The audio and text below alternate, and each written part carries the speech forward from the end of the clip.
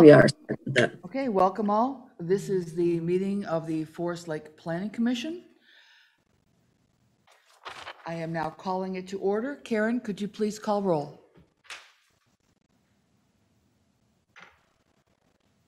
Give me one second here because I'm struggling with on my end.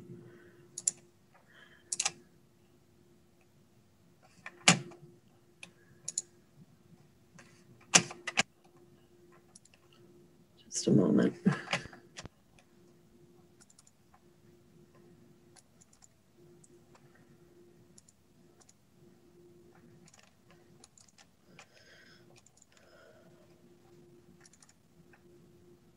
So sorry, just a moment. Right. Take a little while to get, you know, back in gear.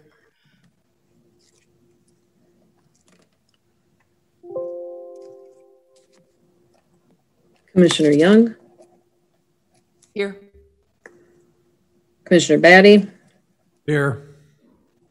Commissioner Miller, Here. Commissioner Keen, Here. Commissioner Burke. Here. and Chair Gerard.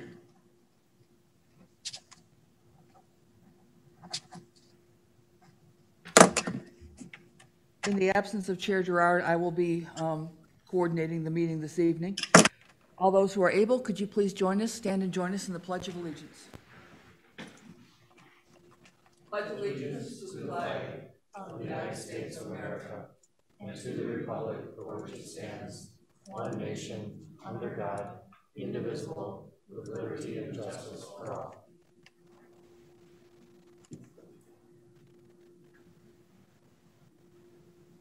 Do I have a motion, please, to approve the Planning Commission me- meeting minutes from June 9th?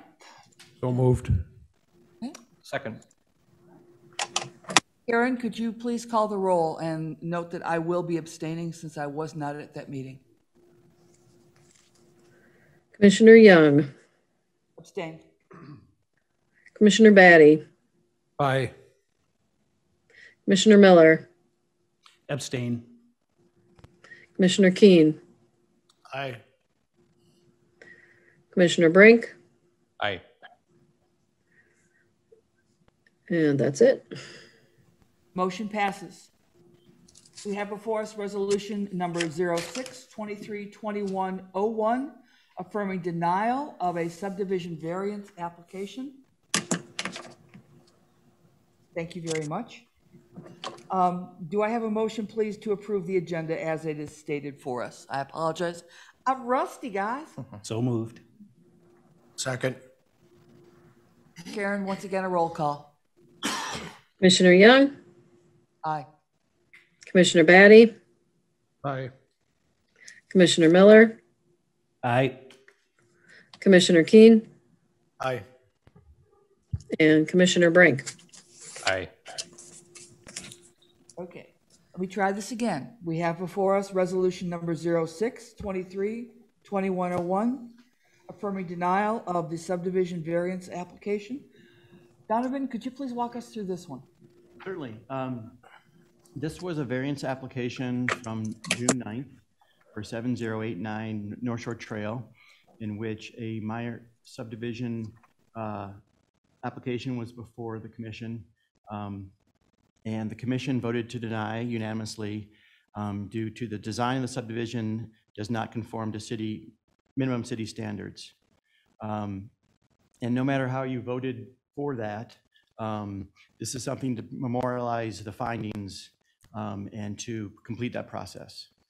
And so it's the, you know, staff's recommendation to approve Resolution 06232101 to deny that variance application.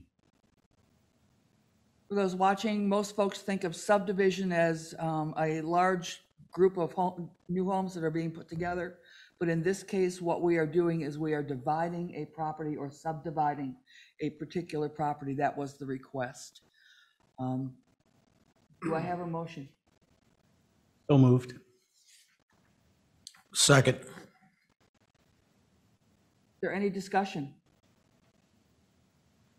Okay, hearing none. Karen, could you please call the roll? Commissioner Young, Aye. Commissioner Batty, Aye. Commissioner Miller, Aye. Commissioner Keen, Aye. And Commissioner Brink. Aye. Next on the agenda, we have a variance application, 4851 217th Street. Donovan, could you start us off on this one, please? Certainly. I'd like to present the application for variance for fr- front um, setback um, for Christopher Voxlin is the applicant. John and Joyce Voxlin are the owners. This is a property at 4851 217th Street. It is located in, um, on the north shore of Clear Lake on 217th Street.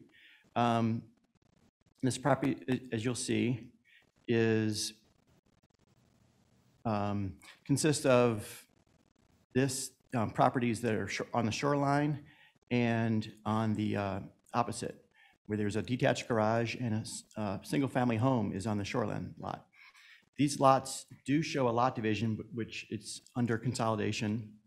Um, That's important because the proposed home does not have um, required parking on the shoreline lot, and so therefore, you know, as consolidated lots, that parking requirements can be met, you know, across the 217th Street. Um, And the,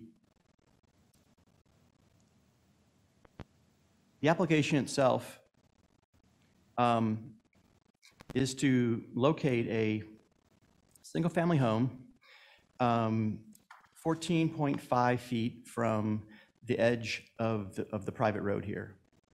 Um, The the zoning code um, makes no distinction between public and private roads for property lines. And just to be clear, um, that, uh, and I- this was an error in the actual notice. The 15.3 dimension is the the driveway dimension, so that's not the shortest dimension to um, that, that front lot line there. So it's, the the variance request is for 14.5 feet from there. Um, What's unique about um, this one, uh, or I should say, uh, you know, is unique, I guess, is the uh, accessory apartment that uh, Mr. Voxlin proposes for his aging parents, who've who've lived in this house and owned this property since 1971, as his his narrative says. Um, And what we, what we also see here, um, this is about a, something over a 12, um, about 12 and a half thousand square foot lot. Um, The proposed impervious um, meets code, it's 25.7, up from about 15.5% for the shoreline property. Um, The proposed home does meet the front 50-foot setback, I'm sorry, the front meaning, it's lakefront, uh, the shoreline setback, and 10 feet on the east and west sides. The, uh, what is um, also different about this is the amount of water that comes through this property. Um, It's, uh, you know, there's, there's a large wetland complex to the north, and this is the low point in this area of 217th Street. So there's a lot of discussion um, between, uh, um, you know, city public works and city engineer and Mr. Voxlin and his engineer around uh, making sure that any new construction on this lot um, does, does not, you know, worsen the situation where there's been past flooding and uh, also, um, you know, makes it so that his home and other homes aren't, aren't uh, impacted by any flooding. Um, As I, as I note in the, the staff memo, this, this is a concern. Um, You know, and this was, this, this, um, sorry, I gotta reboot that. This uh, area did, was a, was an area of considerable flooding um, prior to some 2019 work where the, where the, um, where the, uh, prior to MnDOT um, cleaning out a ditch. Um, And our concern was chiefly that, that now that the, the ditch has been cleaned out and issues, um, seems like that's been resolved, that we, this situation hasn't reoccurred like this since then. Um, But ditches do fill back in, vegetation does fill them. And so it appears that the drainage plan that um, Mr. Voxlin's engineer has submitted um, does, is, is going to work. Um, So that, we received that news yesterday. So that's kind of breaking news. And, this morning after um, Ryan, Ryan, the city engineer, reviewed that. Um, Yeah, the, uh, what Mr. Voxlin's seeking to do is to construct the home you 14.5 feet from the, the front property line. The required setback for the single-family lot is, um, is 30.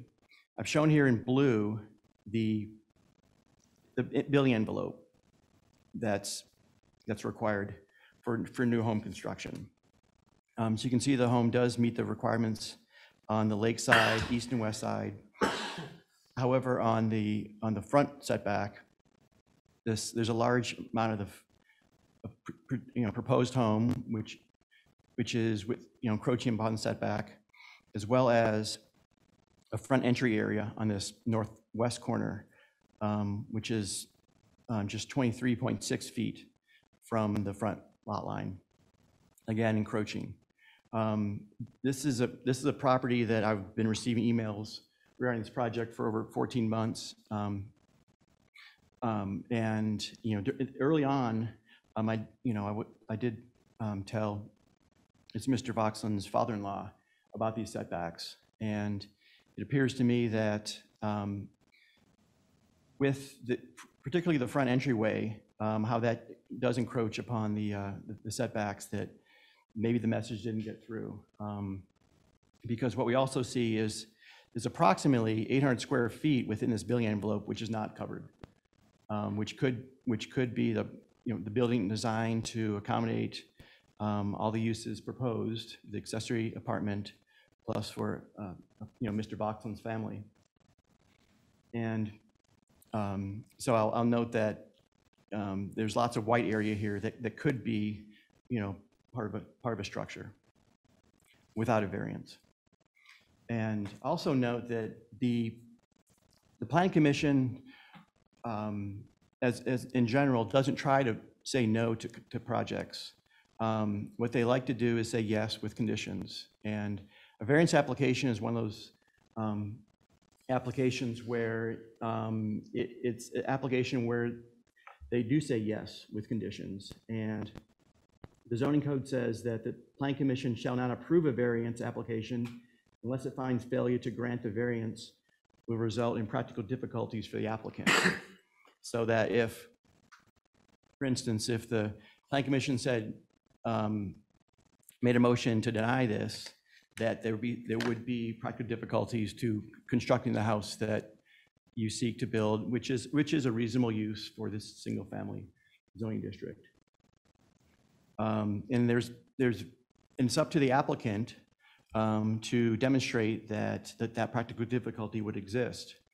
Also, it's up to the applicant to show that the, um, the, uh, you know, the, the criteria that the, that the plan commission looks at also um, exists. Um, And these criteria are um, that the, the property owner proposes, proposes to use the property in a reasonable manner, which um, I would say they, they have. To apply the landowners due to circumstances unique to the property not created by the landowner. Um, In Mr. Voxlin's, Voxlin's narrative, um, he doesn't point out any, any um, unique circumstances with this property. Um, The granting the variance will not be detrimental to public welfare or injurious to other land or, or improvements in the vicinity of the land, um, nor shall alter the essential character of the locality. I believe that it would not be detrimental to public welfare. Um, The proposed variance is keeping with the spirit and intent of this chapter, and thus the the approval of the variance will not do things like increase danger of fire, increase, endanger public safety, cause drainage issues for adjacent property. Um, It, I don't believe it's keeping with the spirit of the- uh, if the, of the code, if this chapter, which is code, when there's, there's possibilities to redesign the, the house so that it fits within the existing and permitted building envelope. Um, And that also that the, um, I'm going to summarize here, that the, um, you know, that these,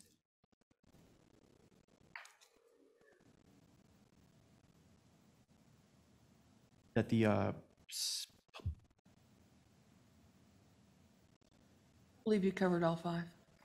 yeah, that the, the, the plight of the homeowner is not, not, not created by the landowner. Um, And so at this point, um, staff recommendation is to deny, is to deny on the conditions that the applicant has not provided evidence that the variance application meets the criteria for granting a variance. The need for requested variance is created by the actions of the applicant. That, take any questions from the, from the planning commission? Do any of the commissioners have questions for Donovan? Mr. Keen? Donovan, has this house been in front of us before for a variance? It has Before? not, no. No? Because that, that drawing looked really familiar with that deck and stuff close to the lakes. Yeah, the, uh, well, I'll say it did receive a variance from the town, from the city, Oh. in 93 um, with the the lake house. Also rela- regarding the the de- detached garage. I wasn't here then.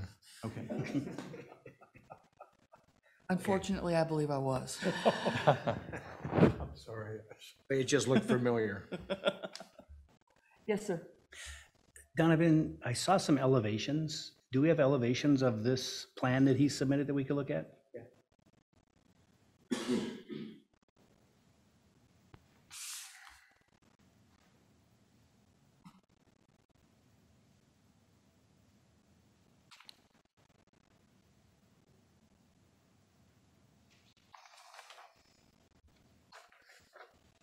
There's a floor plan and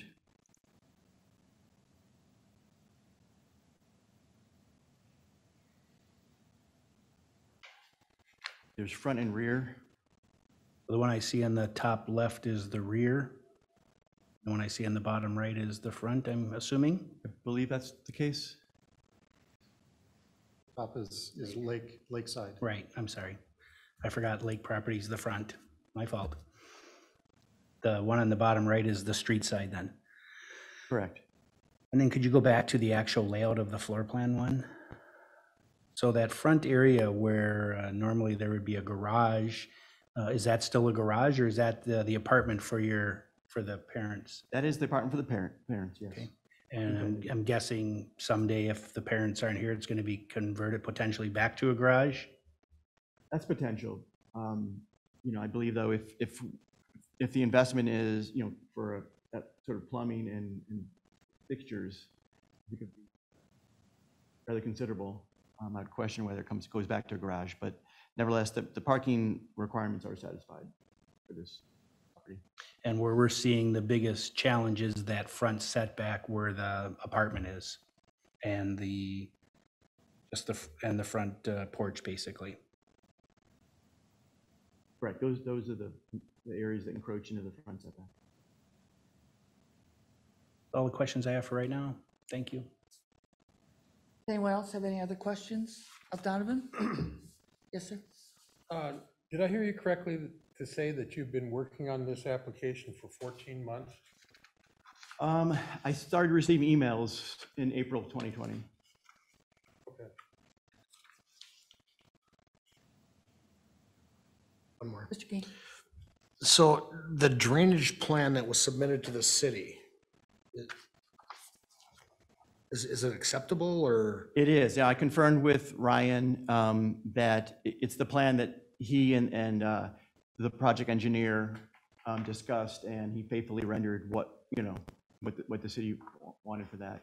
I can pull it up if you want, if we can, we can discuss no, it, no, but no, it's, involves um, actually restoring a ditch that was filled in some, some number of years ago and some small dr- drain tile put in, drain tile rather inadequate to um, receive the flows that, that were coming at the time.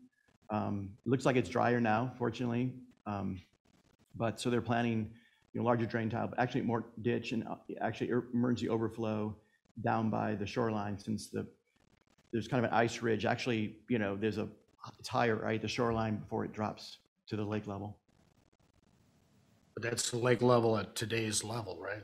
It's stays level, but they- what we found um, on going there was actually there's township drain tile, uh, a culvert, you know, actually underneath a tree and underneath, um, you know, that actually was the original drainage when there was a ditch. I'm just thinking, you know, the normal uh, depth of that lake is probably a few feet lower this year now than it has been normal, normal uh, level. Yeah, that, I mean, it may be, but that's, that's not an issue in this case. Uh, did you, did you say that there was, did you, there was a square footage? And maybe this is a question for the, but I'm just curious what the square footage, the footprint, square footage of the house is. It is some, little over, it's 2707 square feet. Okay.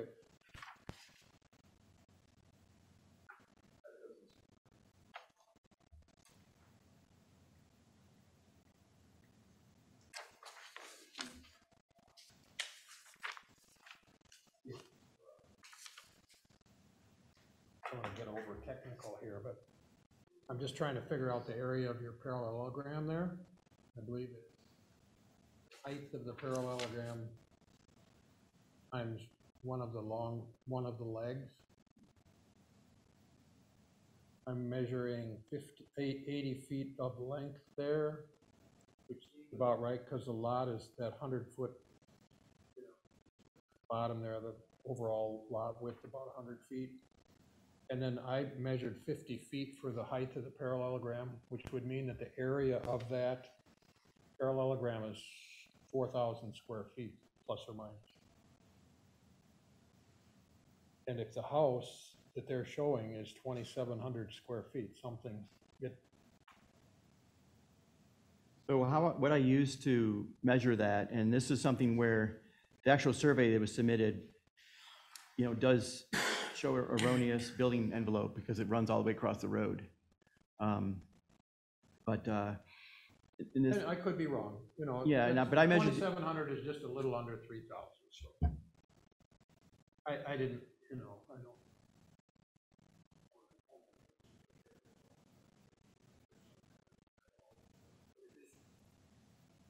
Seems Like if you,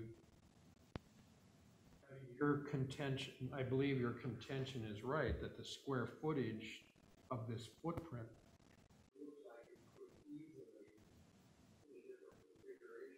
fit within that parallel.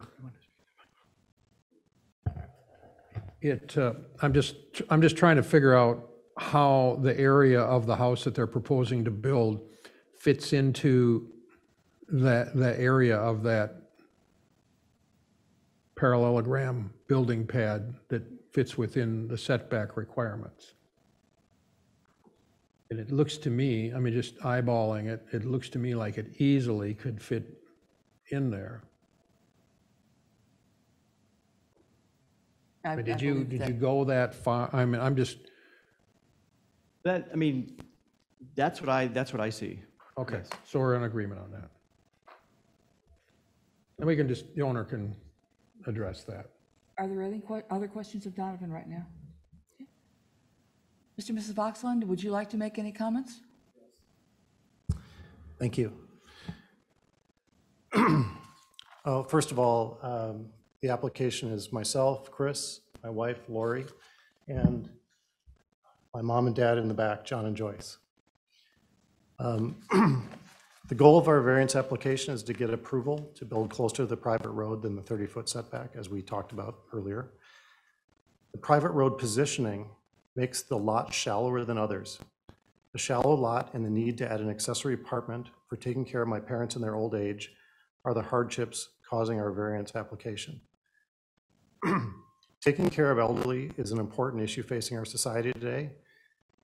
We saw during the COVID-19 pandemic that high-density nursing homes were not only dangerous for the spread of disease, but also caused elderly, elderly people to be lonely and isolated away from their family.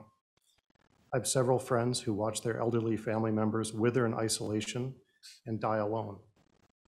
We need better solutions for caring for our elderly parents, and there needs to be some flexibility to support this movement. Some of the factors uh, that show the reasonability of our variance request. Uh, First, 217th Street meanders at varying distances to the lake shore, but generally, the road location creates small depth lots. This, this is one of the narrowest distances from the lake shore, um, the, the uh, lot we're on. Um, The current structure is non-conforming to the lakeshore setback and the setback to the western property line. Our proposed structure will be, will be compliant to the lake setback as well as all neighboring properties. If something has to give, we considered the lake and the neighbor setbacks a higher priority than the setbacks to the private drive. I made a short survey of the 17 closest homes.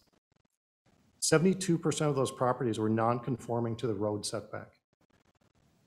72%, including recently built structures. Um, Just down the road, at the very entrance of 217th Street, there's a garage four feet off the, the road.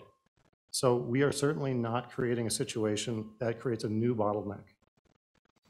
Also, to address uh, what Donovan was saying earlier about the parallelogram, um, if we created a house that fit exactly in that shape, it'd be a very difficult house to build.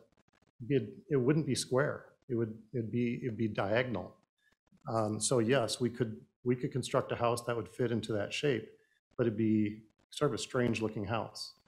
Um, Furthermore, that northeast corner of the parallelogram is the area that we need to create drainage to the lake. If we were to construct in that corner, there's no longer that drainage path. So this, the way that we've done this keeps that drainage path open to the lake, exactly like the city engineer's been looking for. Um, The third point is that we have unanimous support from our neighbors for this project. Um, If the zoning administrator's concern is related to a negative impact to the neighbors, they don't seem to share his opinion. Um, Here's some historical uh, background information that was not clarified in the city report. Um, Some of you may know this, or some, or, or not. Uh, 217th Street North is a road that's owned by the residents, was built originally by the property owners, and is maintained by the property owners. We pay taxes on that acreage. It's a shared driveway more than a city road. The city does not have storm sewers, lighting, curbing, sidewalks, anything like that to consider on this property. One of the main points on the city report was related to drainage. Um, And I, I know that we've, we've talked a little bit about this, and it's, it complies with the city at, at this point, but I think the history is important. This area of Clear Lake is certainly lower than some other properties on the North Shore. But our property is not in a swamp, as a report would have you believe. Historically, the wetland to our north drained to Mud Lake to the west. That drainage was cut off in 1972 with the construction of I-35, and the management of that drainage moved to the Minnesota Department of Transportation. I'm not sure of the exact date, but around 1980, Forest Lake Township installed two large culverts at the outflow of the wetland area. They installed them at 891.5 feet above sea level. We noticed that this permanently ra- raised the water level in that wetland. In 2018, the state was working on the I-35 construction project, as Donovan said, uh, between 97 and Broadway. During this period, the drainage, the drainage was blocked in the ditch that ran along the freeway. This drainage ditch along I-35 is the only outlet for the adjacent wetland. In addition, many acres to the north of 11th Avenue Southwest that has been heavily developed drains down to that wetland. When we had unusually heavy rains in 2018, the water could not flow along its normal outlet, causing the wetland to overflow to the south towards Clear Lake.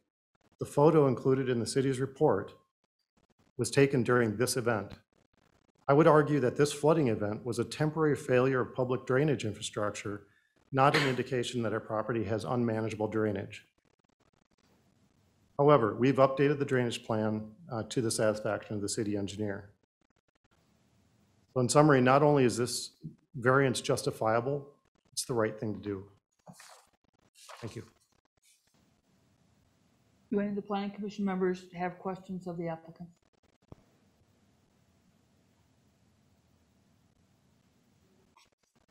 Um,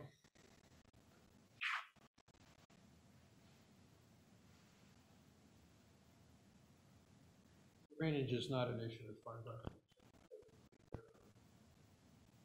Mechanical waste is I believe that that can happen even if you built a house that completely filled. I, I, that's what I believe. I, I, I don't see here anything that's terribly restrictive um, along those lines.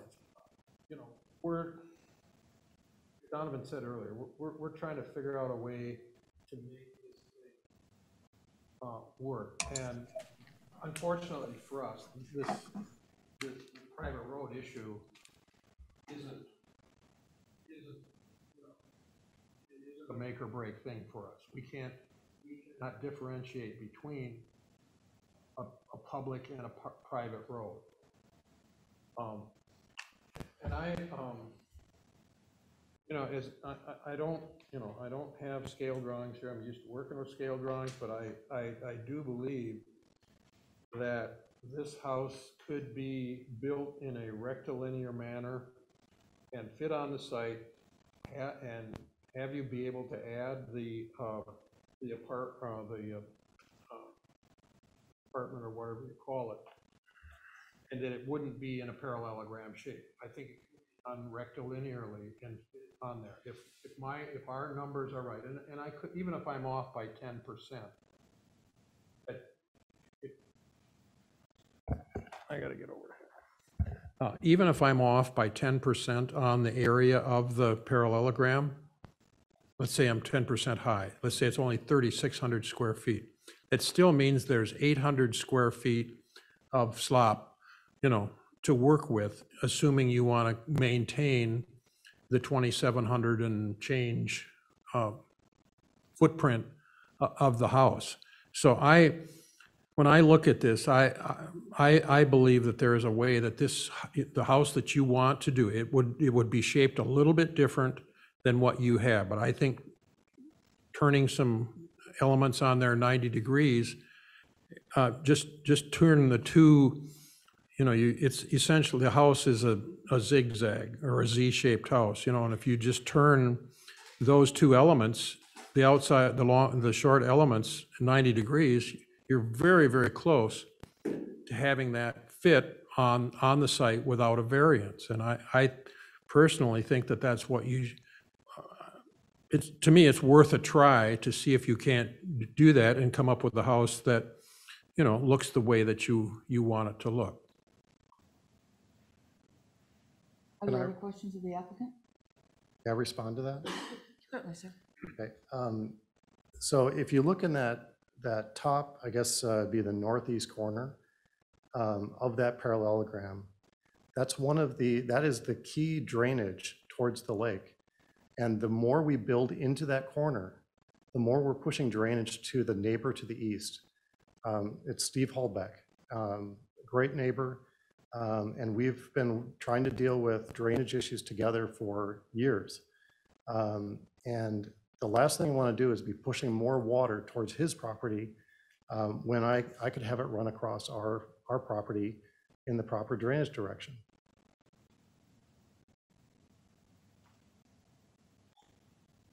Are there other questions of the applicant? We are required to hold a public hearing this evening. I'm going to now open the public hearing. If there are any folks that would like to speak on this, uh, in addition to the emails or letters that you have already submitted, um, please come on up. We would ask that you state your name and your address and tell us whatever it is that you want us to hear. Come up to the dais. This, Yes. okay, because I saw that you've got the other mic set up. Okay, then c- just come on up to the dais. That big old speaking podium. Karen, is there anybody um, also that you might want to queue up that is online? Um, Commissioner Young, I don't have anybody online that is speaking. Yes, sir. Yes, my name is Ron Coleman. I live at 4823 217th Street. I'm just uh, three doors down from uh, Chris and Lori and Chris want to build her house.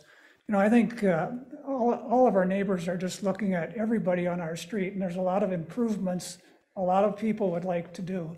And I think that's what Lori and Chris are doing. They're trying to improve our neighborhood. And, you know, if you drive, I don't know how many of you have driven down our street? Have you met a car on our street? Anybody met a car on our street? You have to pull, you have to stop and let the car go by before you keep going, correct? Okay.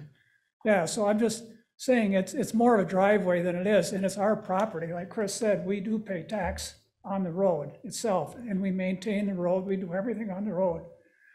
So I'm not sure where that, where that uh, 30 feet comes from. I was always confused on that, being we own the road. Where do you, where do you, where do you measure 30 feet from? So, and if you, dri- if you drive down the road, you'll see there's houses that are 10 feet, like Chris said, four feet, 10 feet, 12 feet, 30 feet. They're all over the board. There's, there's nothing that's been uh, um, set before on any distances or anything like that. There was a house put up uh, last year that they can't park a car in front of the house.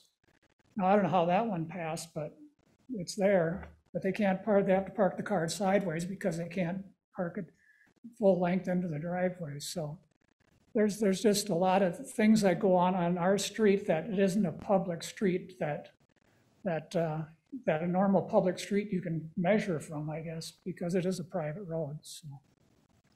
But everybody's trying to improve the, the, uh, street and improve everything that's on that road, so if we could get that, uh, variance, that's, I don't think it's anything out of ordinary, and everybody on our road, I don't think there's anybody that's against what he's trying to do there. So, thank you.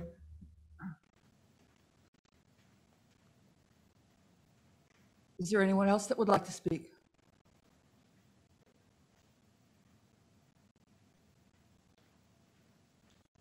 I'm Trudy Blake, 4887 217th Street, so three doors the other direction. Um, I'm not a public speaker, and right now I'm like shaken to be up here, but I'm so passionate about this and why we need to do this for these people. When we moved on to 217th Street, um, now nine years ago, we found the most wonderful neighborhood. It is a secret gem.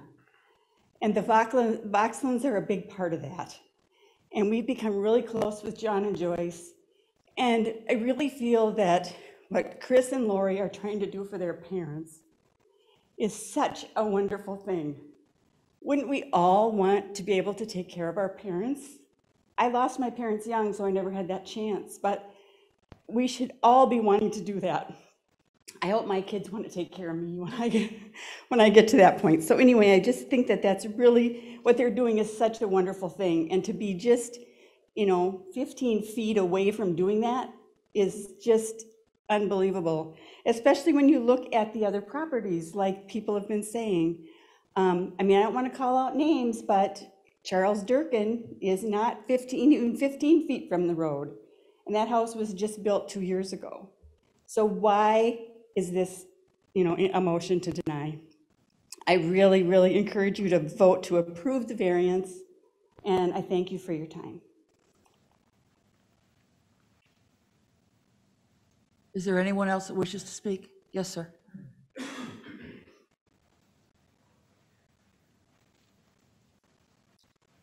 Hello, my name is Charles Rinke. I live at 4873 217th Street. I'm just two doors down to the east from the Boxlands. So I'm speaking for myself, but also my neighbor that's not here, also Steve and Nancy Holbeck. They're the ones that have had basically a, a gracious contention with the slot line since I've lived there six years. Um, You know, I'm, I'm the guy that gets in the middle, you know, like they come to me and I, you know, what's the best way to fix this? And without, you know, because they don't want to offend each other, you know, I mean, people are very gracious in the neighborhood, you know? And uh, it, it, he keeps, I know this may not be the real deal breaker for you, the, the uh, water or the elevation, but I know he brought that up again. I've witnessed this contention, and, and it's true. Um, Steve, Steve's house is in a low area too, and so is mine. And I was in here getting a variance, you know, six years ago with Donovan, and uh, the commission was gracious enough to give me the variance because I was making an improvement. Because what was there was just, really wasn't non-functional. It was so low and it was rotting out. And, you know, I had to get the variance and I had to go through the codes and get my house up. I think it was 30-some inches above the water, high water table. So um, if they can get that house up and the, that drainage, I think, I don't really see an issue with it. And again, they're making an improvement to an area that has had issues with flooding in the past. And they want, they're just trying to do a good thing. And I know you guys maybe can give them a blueprint for their home, but it's not the one they want. You know how it is, you've built homes. When you build a home, you want to build it the way you want it because you have a dream. And this is, they've dreamed their whole life about one day knowing that their parents were going to pass and they'd have to take care of them and they were going to build this house. So, I mean, I'm not, I'm just, you know, there's a heart issue here too, you know? And I just can't see why this would not be. It's just a few feet to the road that they want to build their dream house. And if you drive down there, there's several places. There's one house as you come in there that's not even four feet from the road. I mean, you know, and I realize, you know, laws and stuff change. But what they want to do is just going to be such a vast improvement, not just for them, but for the neighbors and everybody, because um, it, it, it has been an issue. And frankly, we all feel bad for the Boxlands because they live on the lowest piece of property there. Every time it rains like that, you just see all this water there. And here's John, you know, he's a he's an, a senior man. He's out there with water pumps day and night, pumping water out of this just to maintain a place to live. And so whatever they're doing is going to be a vast improvement. I just can't see this driveway thing really being a major issue when you see what else has gone down there. So I understand that there's certain, you know, codes and laws with the state and city, but I'm just asking you to consider once again that the private road issue. It, it's a, you know, we have to repair it. We have to put money towards it every year. And we're, we're a community of people that love each other and help each other. And we, we so want to invite them into the community to be a part of, part of who we are because we love their mom and dad and we'll probably soon love them. Thank you.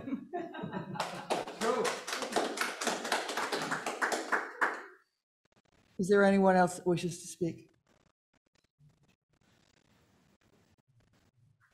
Sure, I get to follow Charles. Thanks for your time tonight, Commission, appreciate it. Um, Basically, um, I'm Eric Swenson. Um, I have properties at 38, or 4839 and 4845, uh, 217th Street, so that would be right next to them, the two properties next to them. And I'm all for the building of this house. I mean, it's a great opportunity to see Chris move back to the lake with his family, still have his parents there who are fabulous people, um, and uh, just, you know, have a, a whole family there again. Um, I've been there, basically, our property has been in the family since 1927. But um, I uh, noticed that, you know, of the 35 properties on 217th Street, there are roughly about 27 properties that do not fit the 30-foot setback.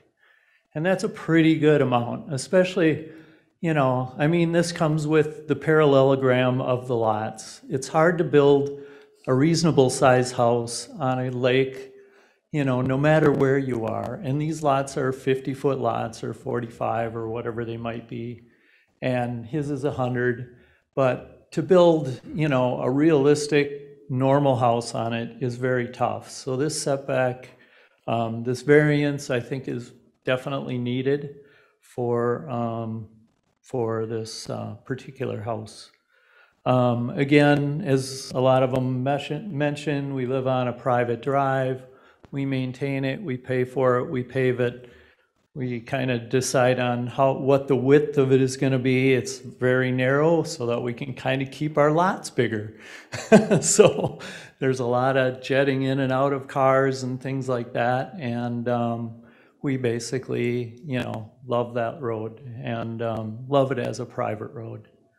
Um, As far as the drainage, um, as been, has been mentioned, um, you know, the, the freeway was built in about 1969. There was agreement between MnDOT and the landowners on the North Shore to make sure that drainage ditch was emptied out and cleaned out on a regular basis. That was not the fact. They hadn't cleaned it out in years and years. Um, So basically, over the years, vegetation grew in the ditch, raised the table of the swamp, and eventually it overflowed into the street. And that was a picture that you saw of 2019 or 18. Um, Since then, we worked with the DNR. We had a meeting here at the Forest Lake City Hall with um, the city engineer and the MnDOT, and uh, basically got them to resurrect the ditch back down to the level that it should be. Since then, the swamp has dropped over 16 inches.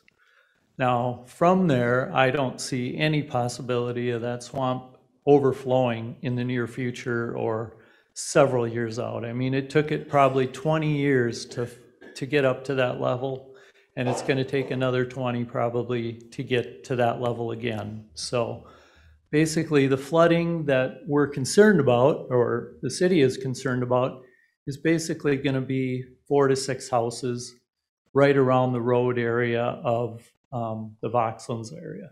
So there's not that much water that's going to be congregated in their property anymore. So, and basically, that's all I have. Uh, Appreciate your time, and I hope you all vote for uh, giving them the variance. Thank you. There any other,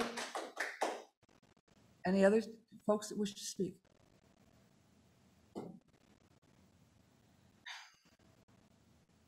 There are times when it is not a lot of fun to be on the planning commission.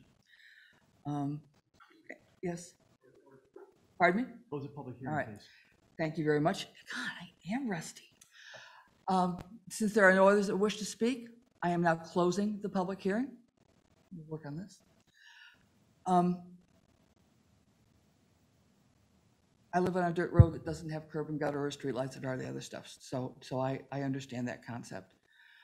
One of the issues that we are going to have to be cognizant of is that whatever we do, whether we grant the variance or we do not, that sets a precedent for the rest of the city. Under Minnesota law, whether it's a private road or a public road, if it's within the city, the rules are the same. So just because something is a private road does not mean that we should ignore or set aside without very strict requirements, whatever the zoning code requires. But there are re- reasons for variances, and before we go through further discussion, is there a motion that the planning commission wishes to make?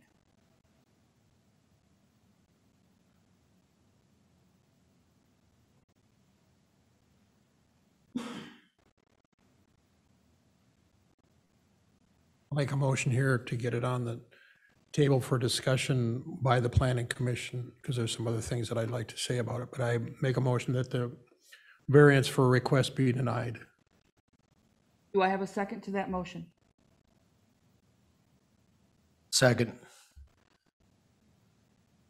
Would you like to start the discussion, sir? For discussion. Okay. You know, this is, I'm with our chairman tonight. I'd just soon not be on the planning commission um, when issues like this come up, because nobody's a winner. Um, But I have, um, I've been on the planning commission here now for, um, I think I'm in my eighth year. And um, I've had my hands slapped several times because I wanted to do things that didn't uh, follow rule of law. But um, I, I think we need to sort out a couple of things here. Um, And I don't think this is the end-all to end-all. I, I, I personally, I've already stated, I think it's possible to build a house, a nice-looking house on this piece of property and have it be the size that you would like the house to be and have it fit uh, within um, the, the building envelope that the setback requirements um, would allow.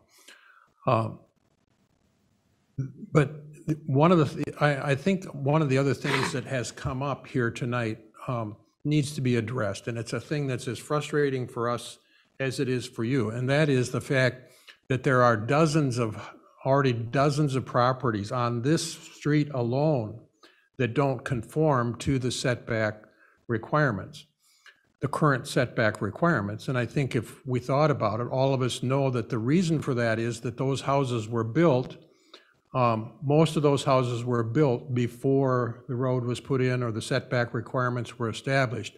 Or they, uh, someone built a house directly over the, an existing non-conforming pad. And this irritates the living daylights out of me, but it's possible for someone to do that. I drive by a garage every time I leave my house that is not even four feet from a very busy street, and that garage is only five years old. Obviously built long after setback requirements were established for that neighborhood. And the only reason that they could do that was because there was a garage already there that they ripped down and built a new one, you know? And I just, I personally think I have to tell you that I think that's just the most ridiculous thing that the city allows that. I, I just, it, it makes absolutely no sense to me. I'm an architect. I do this for a living. And I, I, I, I'm, I've been more often on that side of the table than on this side. Neither bragging nor complaining. It's just a fact. So I, I know where you're coming from here. Um, and I, I wish I could do something about it, but I, I do believe that there are um, ways that you can accomplish what you want to accomplish. And I think you, if, I can't tell you what to do, but I would certainly at least suggest that you, you know, talk to your architect about the possibility of, of doing that. Confirm the area um, numbers that we've talked about here tonight and, and see what, um, see what might be possible uh, as far as fitting a house onto that property.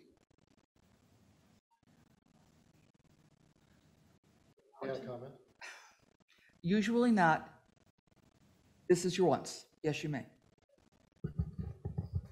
The house that we were referred, that several people were referring to on our road um, is much larger square footage than what we're trying to build. Um, It is on a 50-foot lot, not a 100-foot lot. Um, It doesn't comply with the setback to the road, the lake, or either side property. And we're, we're, you know, basically improving the setback to the lake and to the west. And yes, we, we are not compliant on the, on the setback to the road, but we're improving two other directions. And especially the parts that are, are related to the environment, getting back from the lake. Wasn't going to say anything, but I, um, I just wanted to address the, the fact of, I know it sounds, it sounds kind of simple to say you can, you can figure out a plan in the parallelogram, but, and we gave the example of the garage that's by your house. We are trying to do the right thing, and we're trying to do the right thing for a lot of people. First of all, for our neighbors, for my in-laws, to make a place where they have a separate living place and they can still see the lake to make a main level master for ourselves so that we, at, when we get to the age where we can no longer, our two children, we, we don't have to leave this house. We don't have to change anything. So I know it seems simple, and that just fit it into the parallelogram, but that's the reason why we didn't fit into the parallelogram. There wasn't a way, and then also, we live on a lake. So if you're talking about a lake, you want to maximize your, your front to face the lake. So if it was a house on a, any city block, it would be a no-brainer. But there's just all those little factors that make the parallelogram not, um, not the best option. Thank you. Chair? Yes. I'd like to address the, uh, some of the non-conforming um, issues that have been referred to, um, and just remind the, the commission that, um, you know, variances are a case-by-case basis, and one of the evalu- evaluation criteria is not if there are similar properties, um, non-conforming properties nearby. Um, And uh, I did research that, the, the variance request that was granted um, at one of the properties that you've referred to. This planning commission issued a var, you know, issued a variance for flexibilities on the east side, about five feet from the western property line, and 16 feet from the, the road edge. What was built there is, is not that, at least on the roadside. Um, So that is not, a- I believe, a valid argument for this, to, to make before this commission when they issued a- a variance for 16 feet to that road edge. In other words, Donovan, what I'm hearing is that that, that particular one with the four feet um, was not built as city permit, was As- not built according to the permit. As, as was, as, as the variance was granted. I just discovered that myself. All right, other planning commissioners?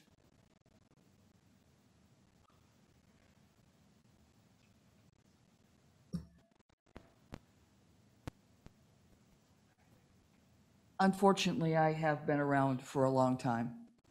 And um, I remember when, when the planning commission did not act in accordance with the laws of the state of Minnesota and um, with our ordinances. And not only were we sued, but we paid a very large penalty. Um, My issue is, my heart is here with you.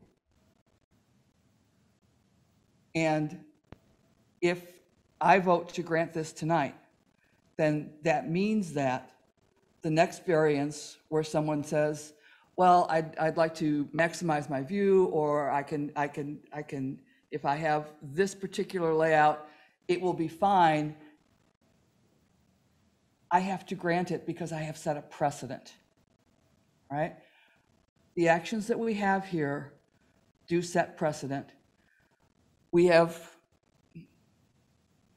on occasion, I, I can remember a couple of, of decks where it was, you know, if, if, if we could go an- another four feet, then my view to the west and the sunsets would not be blocked and life would be good.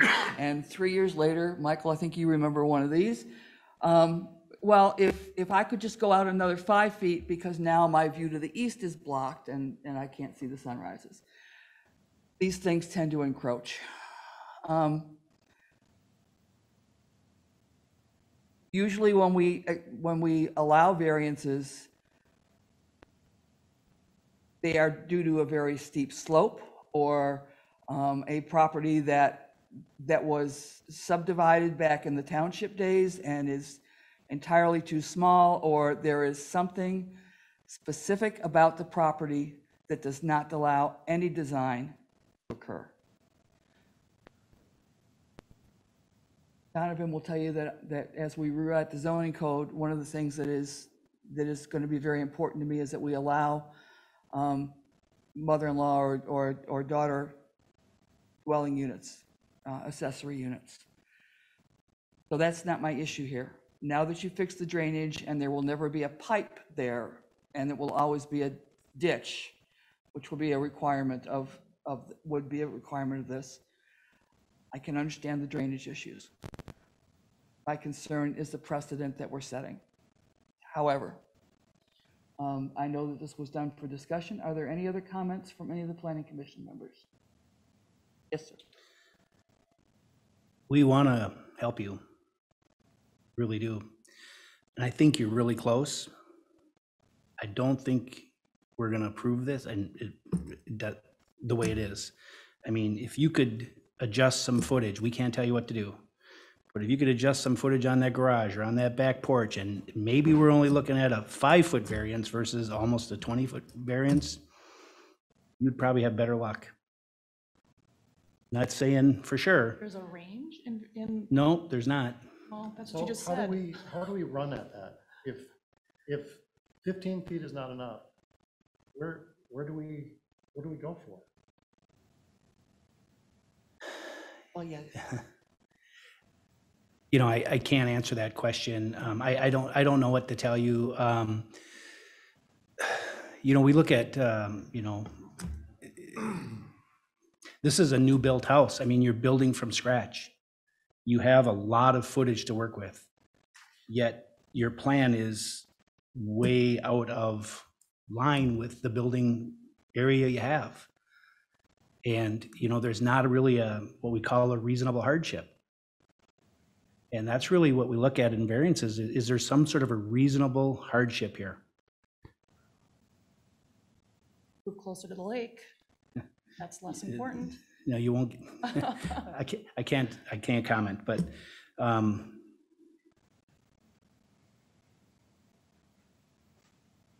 we all empathize. I mean, I, I, I totally get what you're trying to do.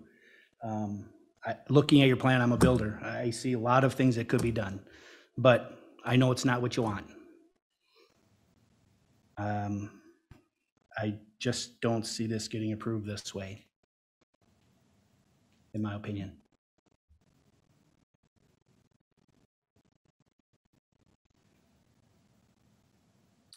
I, I was just gonna echo just a couple things. The, I, this is such a tough situation. Um, I, you know, I agree with uh, pretty much everything that's been said tonight uh, out here, and um, the precedent-setting thing is just so difficult because um, this time, and all of a sudden it happens, uh, you know, around the lake somewhere else, and um, what do you do? Sometimes your hands are kind of tied in these situations, and um, it, it's not fun for us. It's really not. Um, but I, I do think, um, hearing what uh, Kevin had said and also what Dennis said, it looks like there could be a possibility. I was looking at another house here, just a few houses down, that looked like it was kind of a little bit more in that, that area. But um, again, I, I'm not a builder, so I don't really know what will be the best option. But um, unfortunately, I'm a little constrained as far as what the variance allows us to do. So that's because where I'm at. Donovan, if this were to be tabled this evening instead of denied, they could come back with a different plan without paying the monetary penalties of a new plan, correct? Correct.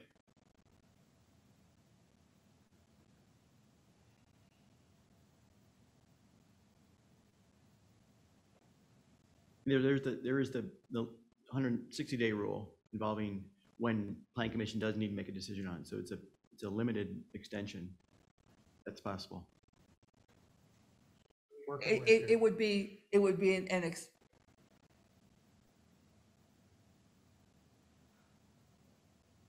I- If there was a mutual agreement between the property owner and the city to extend that more than one hundred and sixty days, that is definitely possible. Oh, certainly.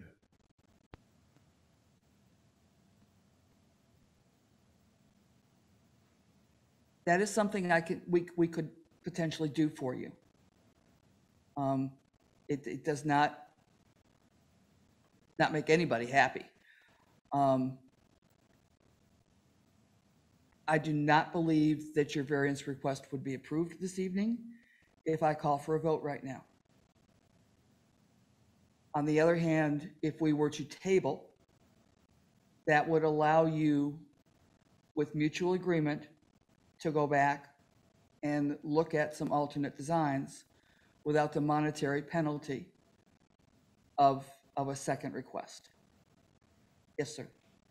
Um, How do we have a constructive give and take so that I can work with the city and find out what the bar, what the boundaries are of what is acceptable. Because what it seems like is, nope, try again, nope, try again. And that's not constructive. That, that takes a lot of time and money. And what I'd really like to find out is, can we sit down together and if there's some flexing uh, between the city and, and our architect, we can find solutions. But I think what I'm really looking for is, is a conversation, not, uh, not sort of a, wall and then we turn in a, the next plan and no, you know, as, as Mr. Miller said, um, you know, maybe there'd be some flexibility, but I don't know how much. I don't know where, where to draw the line. So what I'm, what I'm really hoping for is a way to work this out so that when, when we meet the next time, um, there's not a surprise on either side. That we all know that this, this is an acceptable plan to the city and it's an acceptable plan to us. Well, I'd sure like to believe that that's possible, knowing the personalities that are involved on this side. What, I, I think that you could, could go forward from today with reasonable expectation of an open and honest con- conversation about this that wouldn't, that wouldn't be putting the impetus completely on. I mean, we can't, as we might like to do it, can't design it for you, but we certainly can talk about possibilities. I cannot tell you in advance that I will, I will vote in favor of whatever you come back with. Looking at past history here, it would not surprise me if, if going back on the lot to, not all the way across, but to some of the existing house footprint, um, since that was, was allowed before, that may be, that may be an option. I understand the challenge with cost. I understand your desire to be building as soon as possible to take advantage of this building season. Um, I, I completely understand that. Um,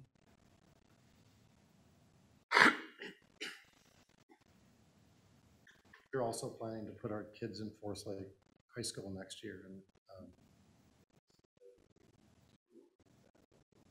was- that's also one of the timing factors we're looking at. One of the beauties of living in Minnesota is that you don't have to live in the district to have your kid go to a school in the district. Um, Take advantage of that. Um,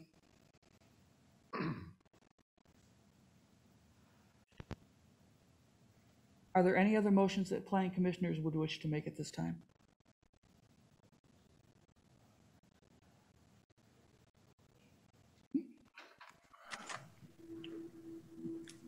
Clarification, Commissioner Young? Yes, The, um, I, I think a motion was made, um, by Commissioner Batty and I think a second by Miller on denying the request for variance, so, by Kuhn. However, a motion to table would tape. supersede that. I don't know if we need to withdraw. Okay, I didn't know if we needed to withdraw the, It, it would not, it would not be a withdrawal. We could Okay. have a motion to table. Um, But that is not, that is not my motion to make.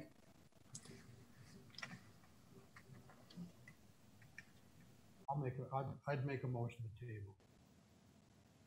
I would second that. right? That is a non-debatable motion. And I am going to put a condition on it, and there, there's going to be, it will be in the record of this, this meeting, that, that we're doing that with the understanding that the 160-day requirement would be waived so that we can find a solution. Do you So do want- I, all right, but, but what, what we have is, I also have to be in compliance with, with all the other state laws, The 100, is the 60-day rule. 60-day It's rule. How Okay. quickly can we get back on a, when we have something, how quickly can we get back on an agenda? We meet the second and fourth Wait, any- Wednesdays of the month. Okay. Two weeks before the meeting. Donovan, could, would it be possible to shorten the advance time, since much of the work, Yeah, what I mean is that usually the, the required um, submittal time is 30 days in advance of the meeting. I, I believe two weeks is proper here, that, you know, given the amount of information we already have. Is in advance of the meeting, instead of 30 days. Can we make that a week? Mm, I mean, I- Well, you gotta I'm not, you gotta- I'm sorry, you I'm not trying to time be do- rude. I'm You just, gotta time to do your diligence. we here, we are, yeah, we are, we already have architecture plans, so, I mean, to meet with architect, because we thought this was gonna get approved and we're gonna do tomorrow. So we have our plans. So, we will ask Donovan to make all haste in review. Right? And if I have to make the same personal request of Ryan, I will do so. Right?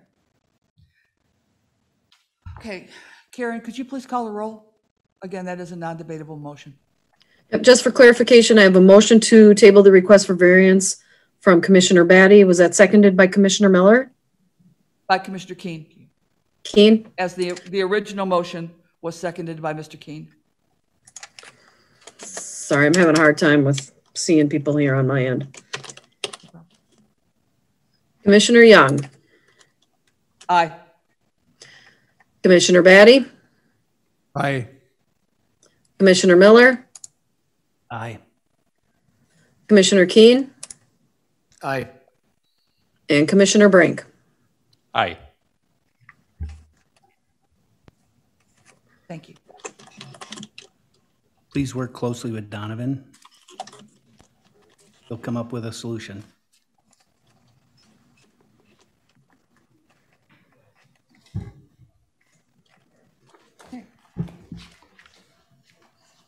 Good luck. Our next agenda item is a minor subdivision. Uh, It would be Cedar Grove. Donovan, can you start us off on this one, please? Certainly.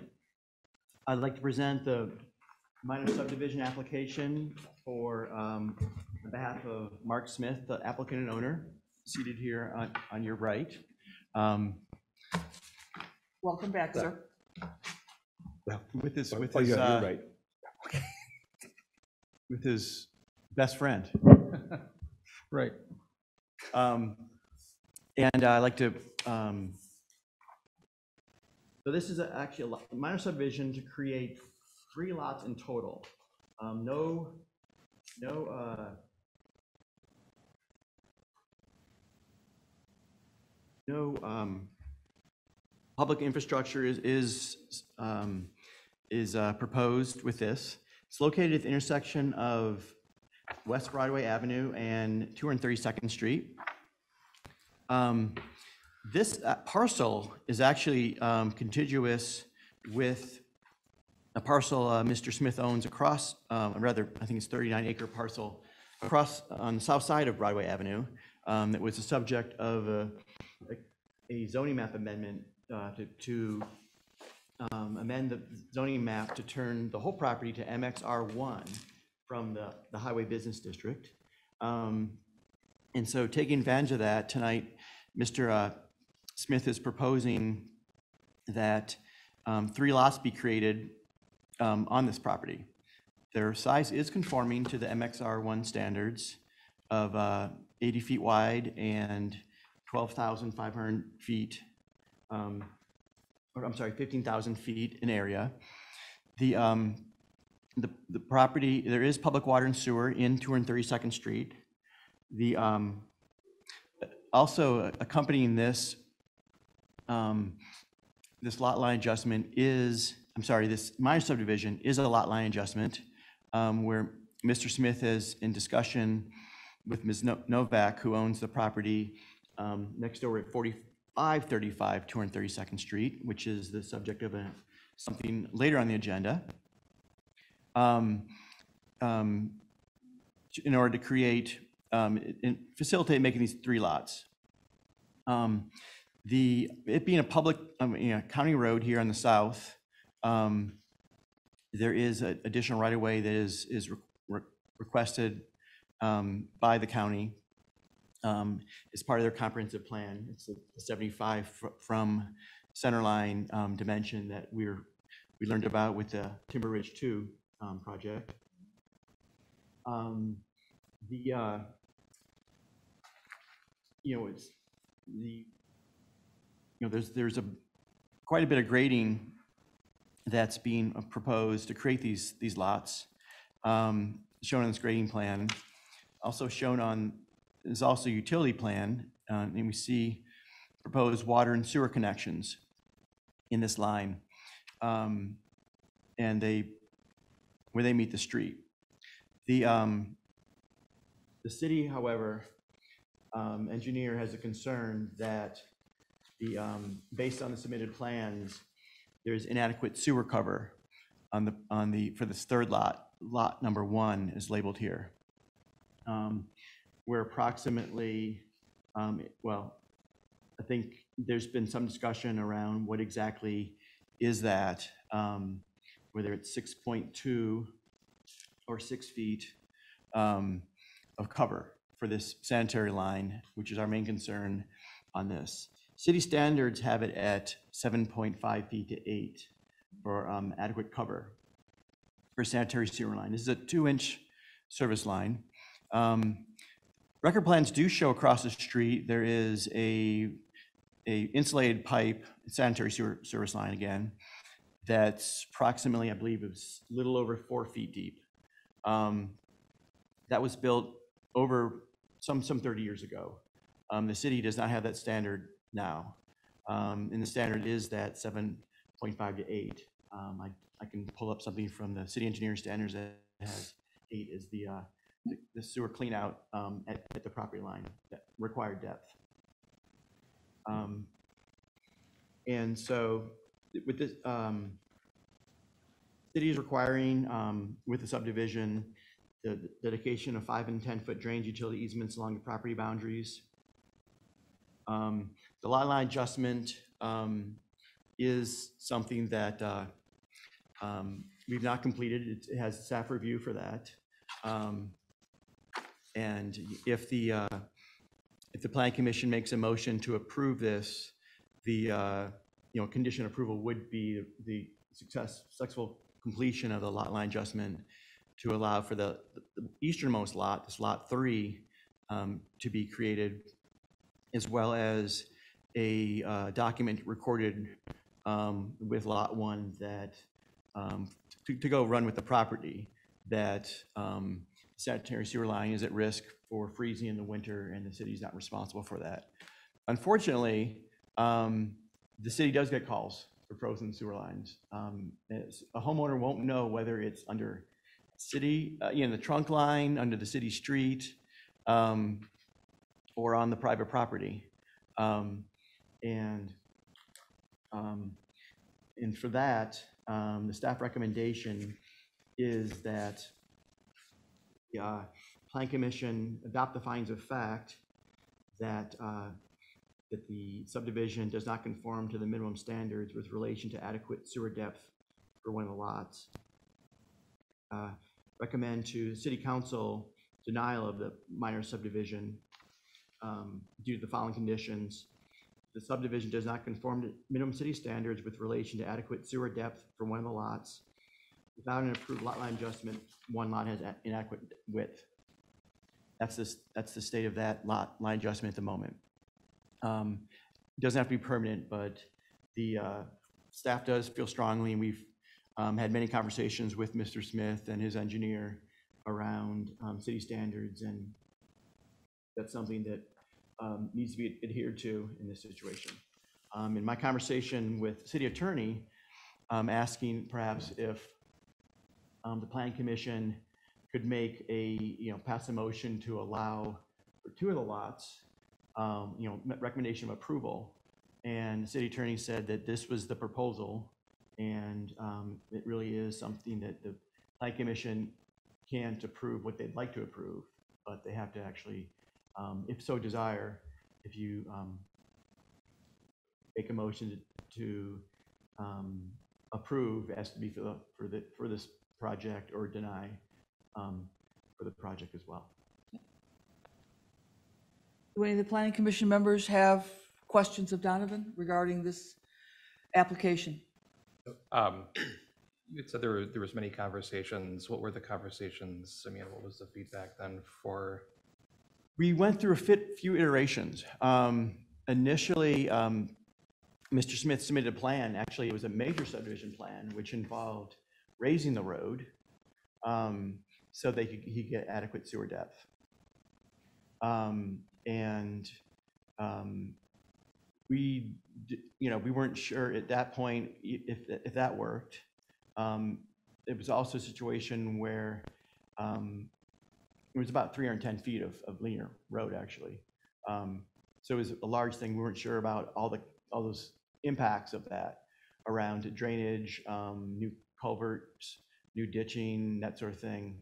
Um, But as the con- conversation went forward, um, Mr. Smith did reach out to the neighbor to the east, um, Ms. Novak, and they, uh, they came to agreement where you could gain, I believe it's 20, you know, 20 feet of lot um, in order to just fac- facilitate, yes, 20 feet, in order to facilitate um, uh,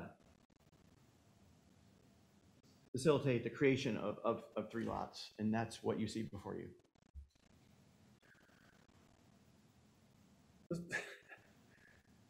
There's not another one of these cart before the, before the Yes, horse. yes, it deals, is. it? Yes, it is. Is, I am so sick of these.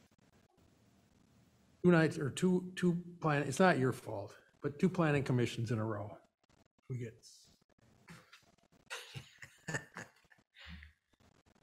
So.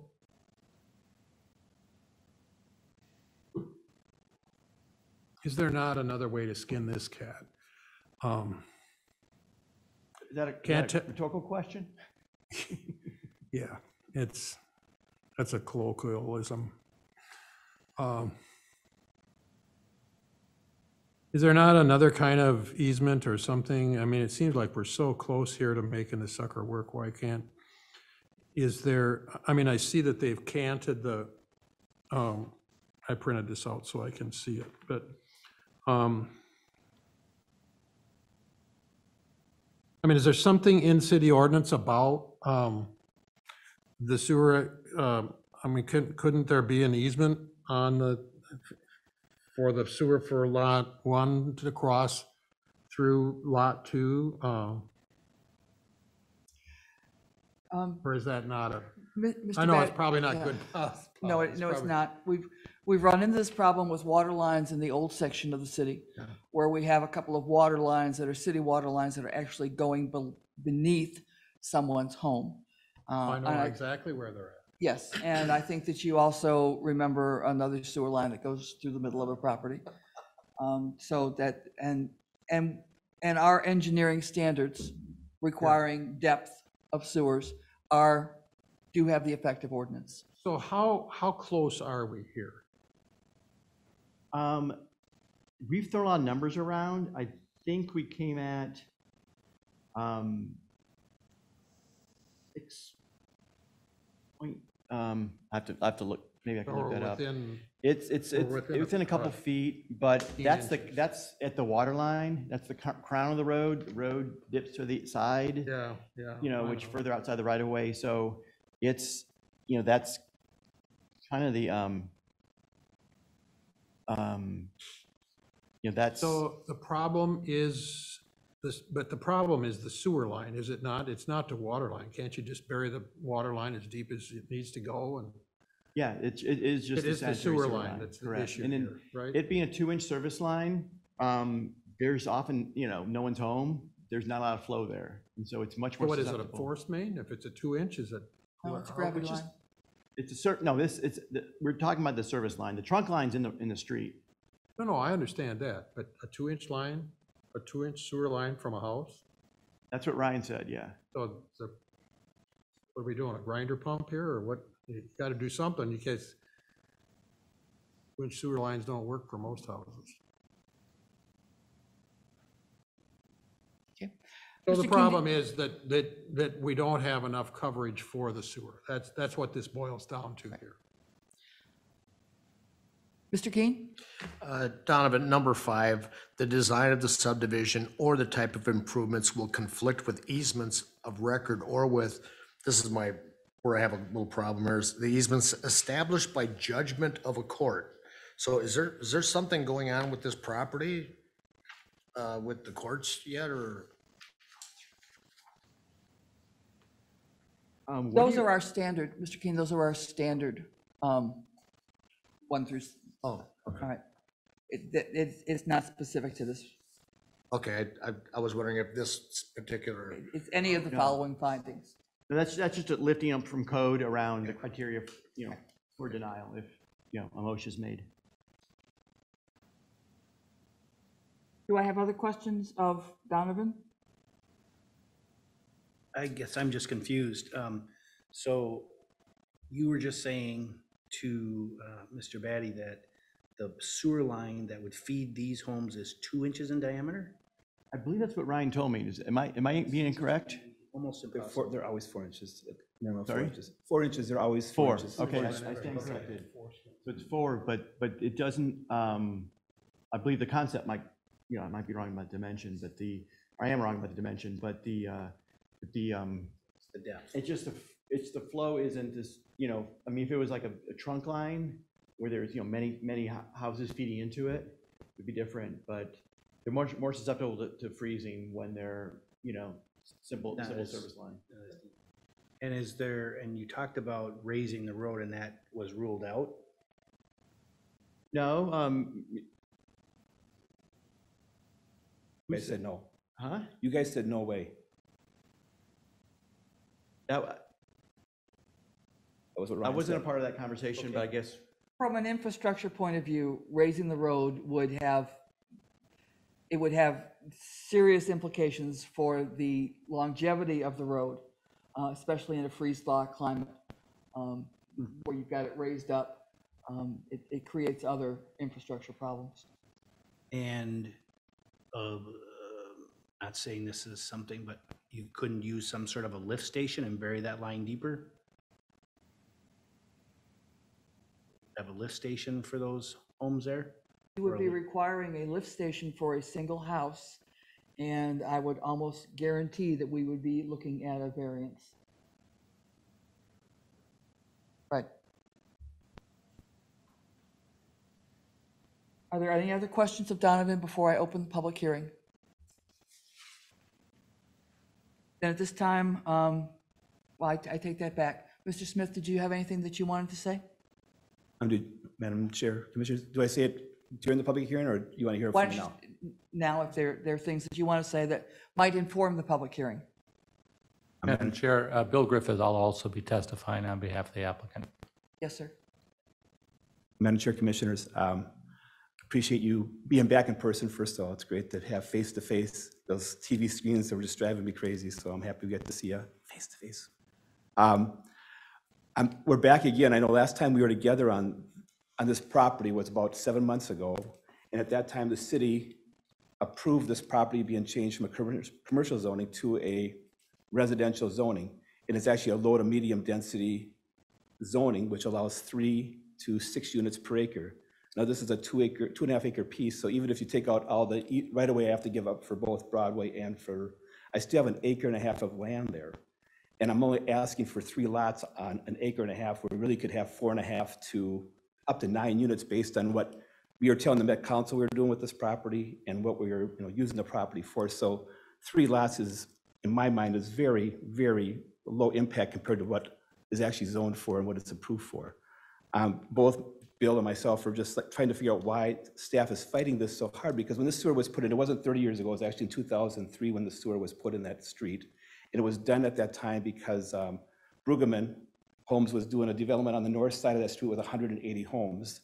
80 of those homes were supposed to drain into the sewer at that manhole that's three and a half feet deep, and the other stuff was supposed to go down Everton. But that's, and I actually had called the, um, um, Paul Hornsby, who was the city engineer at the time, who designed that, built that, and said, what is, um, Ryan, who used to work for him, what is Ryan having a problem with? You know, we insulated that pipe out there, we have stubs that are insulated going to the properties to the north.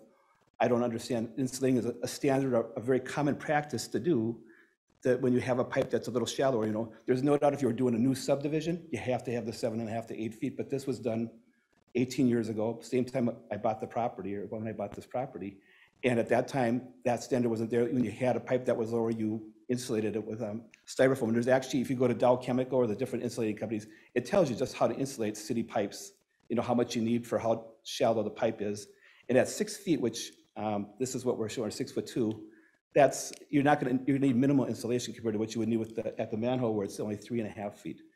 Um, He also mentioned there was actually three places he knew in the city that had um, shallower pipe than that even in the city, where it's three to four feet manholes. And again, they've insulated, they've even insulated the, the lids of the uh, manhole covers to make sure that the cold air wasn't getting to those pipes. Um, One other thing about, you know, the water that's coming out of that four-inch pipe, yes, it's not, a- it's not always coming out, but when it's coming out of a house, it's coming out at least at 53 because it's cold, cold water, that's as cold as it's going to get. And usually, it's, if it's a shower or a sink, it's going to be 60, 70 degrees.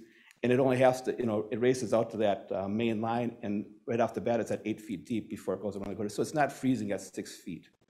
Um, to- In my mind, that seems like it's, um, every, every contract that I deal with out there, that's sewer contract, they've done those, they've done those shallow services before, and a lot shallower than this, and insulation always works for those. So I don't know why it's being turned down just for this shallow um, connection. Originally, I did have a four-foot seven, I I wanted to kind of now go back to, I had a four-foot seven connection originally, which is almost the same as the one that's serving the temple across the street. Um, But they had a, they weren't happy about that. That's when I did contact um, Ms. Novak and say, would you be interested in working something out here? Because that way I would be able to shift my home farther to the east. And it actually allowed me to flip the driveway, so that gave me more of an angle to get farther down the sewer line and get that to that six feet. Um, So that was one of the reasons for contacting Ms. Novak. Also, it required less fill when we were moving up, up that way, because it's, the road's climbing and the sewer's dropping. Um, So anyhow, that's, the, the, our density there seems way lower than what it should be. I think we've done a lot to make sure that we're not gonna have problems with the sewer on these lots. Um, It's, it's a common practice to treat these lots this way. Um, I guess that would be my main thing before your public hearing starts at this point. Yes, sir. Madam Chair, uh, Commissioners, thank you for the opportunity to address you this evening. It's also nice to be back in person. Um, I represent Mark Smith. I've represented him for about 30 years. Mark is a very practical builder, developer. Uh, He works with cities. He comes in, he works towards practical solutions. In this case, he looked at a number of opportunities to develop a three-lot subdivision. As he said, that's on the low end of density uh, that could be allowed on this property. Uh, What you have in front of you this evening is a, essentially a practical three-lot subdivision. I say that because you have existing infrastructure in the street. It was constructed some 20 years, not quite 20 years ago. And so you don't have the luxury of kind of jerry-rigging, you know, the system to work. You've got to deal with what you have. And so for the want of uh, about a foot, of maybe a little over a foot of, of dirt, providing insulating properties, uh, you've got a subdivision that's ready to go. You've got a neighbor who's going to benefit from the sale of the 20 feet because she'll be able to connect to utilities. Um, That's part of the arrangement. And so there's benefit to the neighbor, there's benefit to the city of a three-lot subdivision versus a two-lot. It's more homes, it's more rooftops, it's more tax base. And we're looking at basically a foot of clearance, which can be mitigated, as Mr. Smith said, through reasonable means through insulating the pipe. And so what we're asking you to do tonight is approve this with the condition that we satisfy the technical requirements for providing the service and with the condition that we complete the lot line adjustment. Those are two reasonable conditions. And so when the city's looking at, you know, how to approve development in their city, uh, it's not unusual that you have technical conditions of approval that have to be satisfied by the applicant before we can move forward. For whatever reason, and, you know, again, uh, reasonable people can differ, for whatever reason, your city engineer has taken a hard line on this uh, depth question, even though it's been satisfied in other locations in the city. Again, as Mr. Smith said, if you were coming in with a brand-new, you know, 200-lot subdivision or even 20-lot subdivision, certainly the connections from the road to the, to the subdivision would have to be provided at strict standards. But it can't be done here. And for want of a foot or a foot and a half of clearance, uh, which can be fully mitigated, it seems a little bit ridiculous, if I can use that word, it seems a little bit ridiculous to have 30% of the subdivision deleted uh, just to satisfy that, that strict requirement. We know that um, the city standards, engineering standards, do provide for mitigation. Um, That this wouldn't be the first time that somebody proposed something that wasn't strictly conforming to the city's engineering standards, but mitigation is provided, and that's the key here. So uh, we ask you to approve the subdivision with those two conditions. We believe that they are reasonable technical conditions that can be satisfied before this project moves forward. Thank you. Planning commissioners have questions of the applicants? Um, You know, I'm looking at the plan and um, do you have any uh, landscaping uh, uh, thoughts, uh, berm thoughts, uh, anything like that that should, that you have that's associated with these lots at this point or? Madam Chair, Commissioners, yes, on the um, landscape, there's actually that, why I call it Cedar Cove is that if you've been by the site, there's lots of cedars on that property. And I'm actually hoping the smaller ones, that we can maybe transplant a bunch of them and do some work on the outer edge along Broadway there to protect the people that are living there um, from the noise and sound and the visibility of the road. Um, And we'll definitely, if it doesn't work, if the trees don't survive, then we'll have to add, some- we'll add some more um, trees along that um, buffering from Broadway. And is your intention to keep the corner somewhat open for visibility? The the corner, are you talking on the north? Turn off of Broadway onto, 32nd? yes. There's actually a cluster of trees there that um, are already existing, a bunch of cedar trees on that corner, so I'm I'm actually hoping we don't have to monkey with those or touch those. We can leave those alone.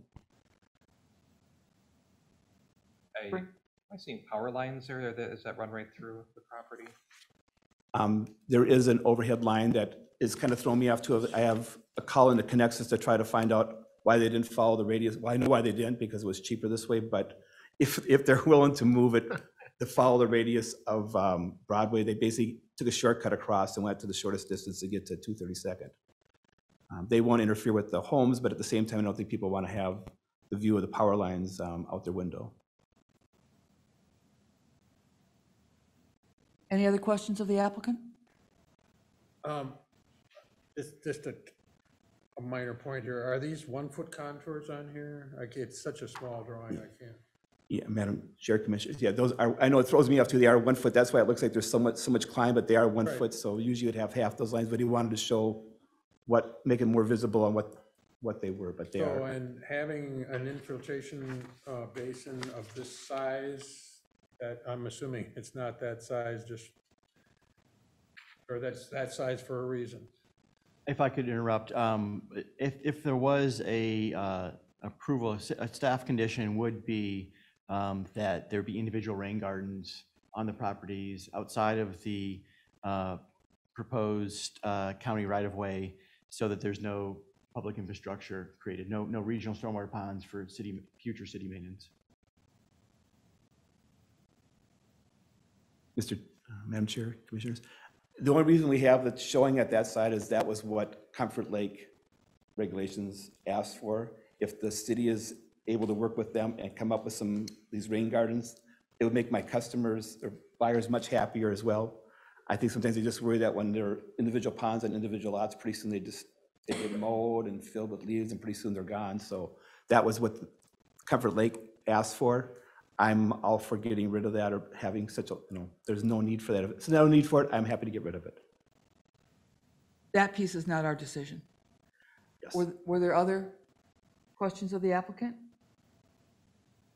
We do have a public hearing this evening. Uh, I am now opening the public hearing. If there's anybody here that wishes to comment. And Karen, I don't know if we have anybody potentially online that may be interested in commenting? Commissioner Young, I do not have anyone. Madam Chair, can I speak again? And if- Or do you to When, say- when we have closed the public hearing. Is there anybody that wishes to speak? Would you like to?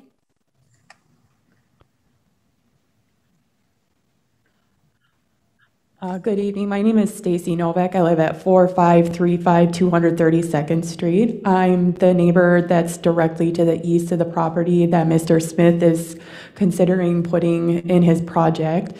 And I, the only thing I really want to say tonight is I hope that you guys do consider approving this. The road, first of all, building the road up, I feel would benefit the neighborhood greatly as the road has been kind of in poor condition since I bought my house there about six years ago.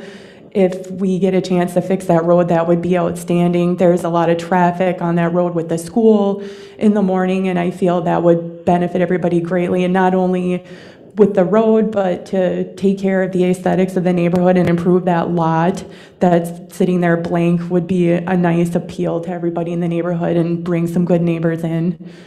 So I, I just ask that you approve this project, and he's been so nice to work with.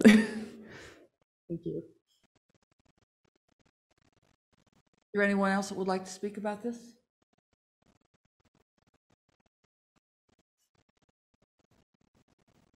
Going, going. I will now close the public hearing. Is there a motion that the planning commissioners, yes, sir? Could I ask a clarifying question first? Absolutely. Donovan, could you comment on, you made a comment about the rain gardens for each lot, and then I'd like, um, if I could, I'd like uh, Mark to uh, address, address that as well. Can you explain what you meant by that? So, um, you know, as, as um, Commissioner Young, um, you know, appropriately um, stated, the, um, you know, stormwater permitting is through, through the Comfort Lake Forest Lake Watershed District. Um, But where the city has an interest in that is that we, uh, the city would not, will not accept, you know, regional stormwater ponds. And actually, it would, it would be creating public infrastructure that would somehow, they would kick this out of the minor subdivision um, application pathway. Um, So it, rain gardens is, is kind of a catch-all phrase here, but basically means stormwater management to, to meet, you know, individual stormwater management areas to meet, you know, the Comfort Lake Forest Lake Watershed District rules, which basically, you know, pre-treatment of twenty-five percent of a, of a one-inch rain event is essentially their rule. Um, And uh, so it's, so it's more of a, it's more of a detail, but that just, that is important in this case, that uh, this, the city won't accept any regional stormwater pond, which, as we usually would with subdivisions. So that wouldn't be something we would need to address. That would be something that's addressed if it was approved with the city as a condition to improve the lots. Correct. Okay. Yes, Donovan? Um, I'd like to address a cou- a couple comments um, from uh, Mr. Smith and Mr. Griffith. Um, The, uh, I guess the first thing, and this is something that I don't, um, you know, I I represent staff here. Um, In this, in uh, this case, you know, there's kind of, I'm the only player you see on the field. There's a backbench of, you know, decades of experience behind me. That's also, I'm, I'm speaking for, trying to represent their views as well. I'm sure I'm not doing as nuanced as they do. Um, I can characterize some of the more, the conversations we had regarding staff and the standard for the uh, um, sanitary sewer service lines um, being at a certain depth. Um, The, the new standard is eight feet. And that's, you know, for new subdivisions, that's where the city service line, um, that's where the city infrastructure comes in on a property. Um, The, you know, when Ryan says, you know, seven and a half to eight feet cover is required, um, he's, he's understanding that there's going to be some variation. There's going to be situations where um, there's going to be new hookups and you know, there's, a, there's a bit of variability there. Um, Something that is, city is really conscious of is when there's a road, there's not a mantle of snow for insulation. Um, And so when that, um, the sewer line depth is not adequate, the city does go out and have to thaw out these, these sanitary sewer lines. Um, I'm familiar with one on Harrow Avenue, right at the, at the end of, just north of the, the church there, the Jesuit Church um, of Minnesota. And it's about a five-foot depth, and they have to go out there and, and, and thaw it, you know, for the homeowner. Um, And uh, the city in this case, I mean, obviously, there are situations, as I just mentioned, that do not meet these standards. And it's the reason this, the city feels, staff feels strongly about this now, um, is the reason, because of those situations where they've not held the standard, and, or there's been built to a different standard, and they pay the price. Um, And uh, so I feel like it's not only the staff I talk to, you know, the, the, the public works superintendent or the city engineer, it's also representing the staff who have to go on site to, to mitigate the impacts when the, when the standards aren't there. Um, And uh, also, I want to mention that um, regarding, you know, city and zoning, you know, the, basically zoning densities aren't a promise. They're simply a- an allowance, and we have a minimum density that we want to have for efficiency of city infrastructure, and also meeting the, the minimum densities for the comprehensive plan. Um, But, and when we put, city, city puts infrastructure in, it's not, um, it's seeking to serve the the adjacent lots, but it's no promise that all, you know, the future development is adequate. I mean, future development that's proposed is, can be adequately served. Um, And I feel like that's the situation we have here, um, where the the infrastructure is, was what's there, and, and it's up for the um, applicant to propose something that, that conforms to city standards. Any questions, follow-up questions for Donovan? Do I have a motion from the planning commission?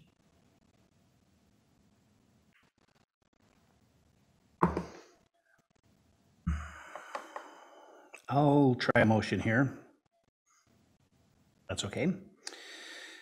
I actually would like to make a motion that the City Planning Commission adopt the findings of fact and approve the proposed minor subdivision um, of the existing lot located at the intersection of Broadway Avenue uh, into three lots due to the following two conditions. One, successful completion of the lot line adjustment, and two, satisfying the technical requirements of completing the sewer, uh, the service for the insulated sewer line at a minimum of six-foot depth.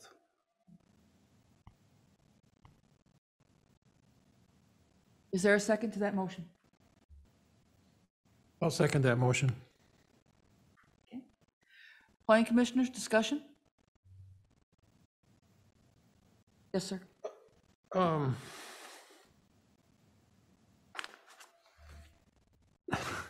Got another geometry issue. I don't know if you were here for the last one, but They were. that's what that came down to. Um, I mean, you don't have to answer this, but I, I'm just wondering if there is any way physically with, you know, I understand fall and distance and, you know, rise to run and that, all that sort, sort of thing. Is there, there is no way under any circumstances that you can angle a line from lot number one to some point on the, um,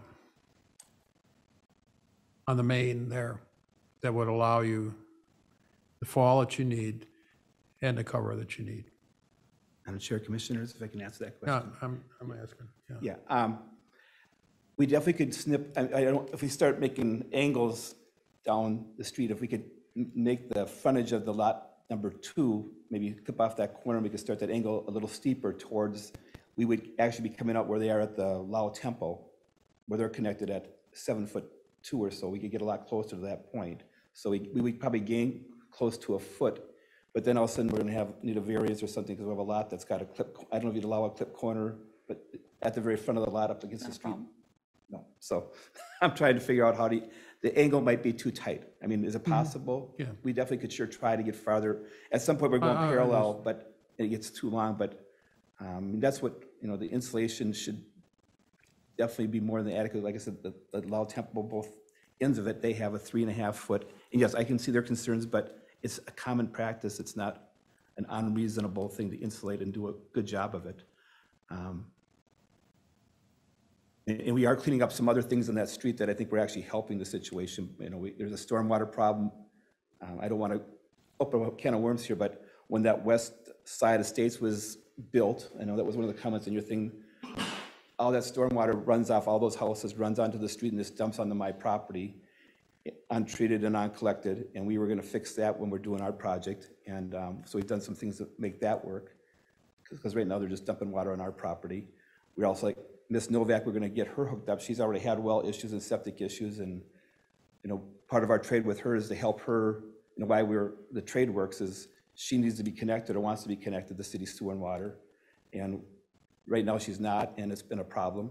We're gonna clean that up as part of this deal, so Ms. Novak, um, who's been a, a, a good neighbor there. um, So it's a win-win. A lot of things happen to the city. The city gets some connections that aren't there right now, so you're not, you know, we get rid of some septic systems that are there.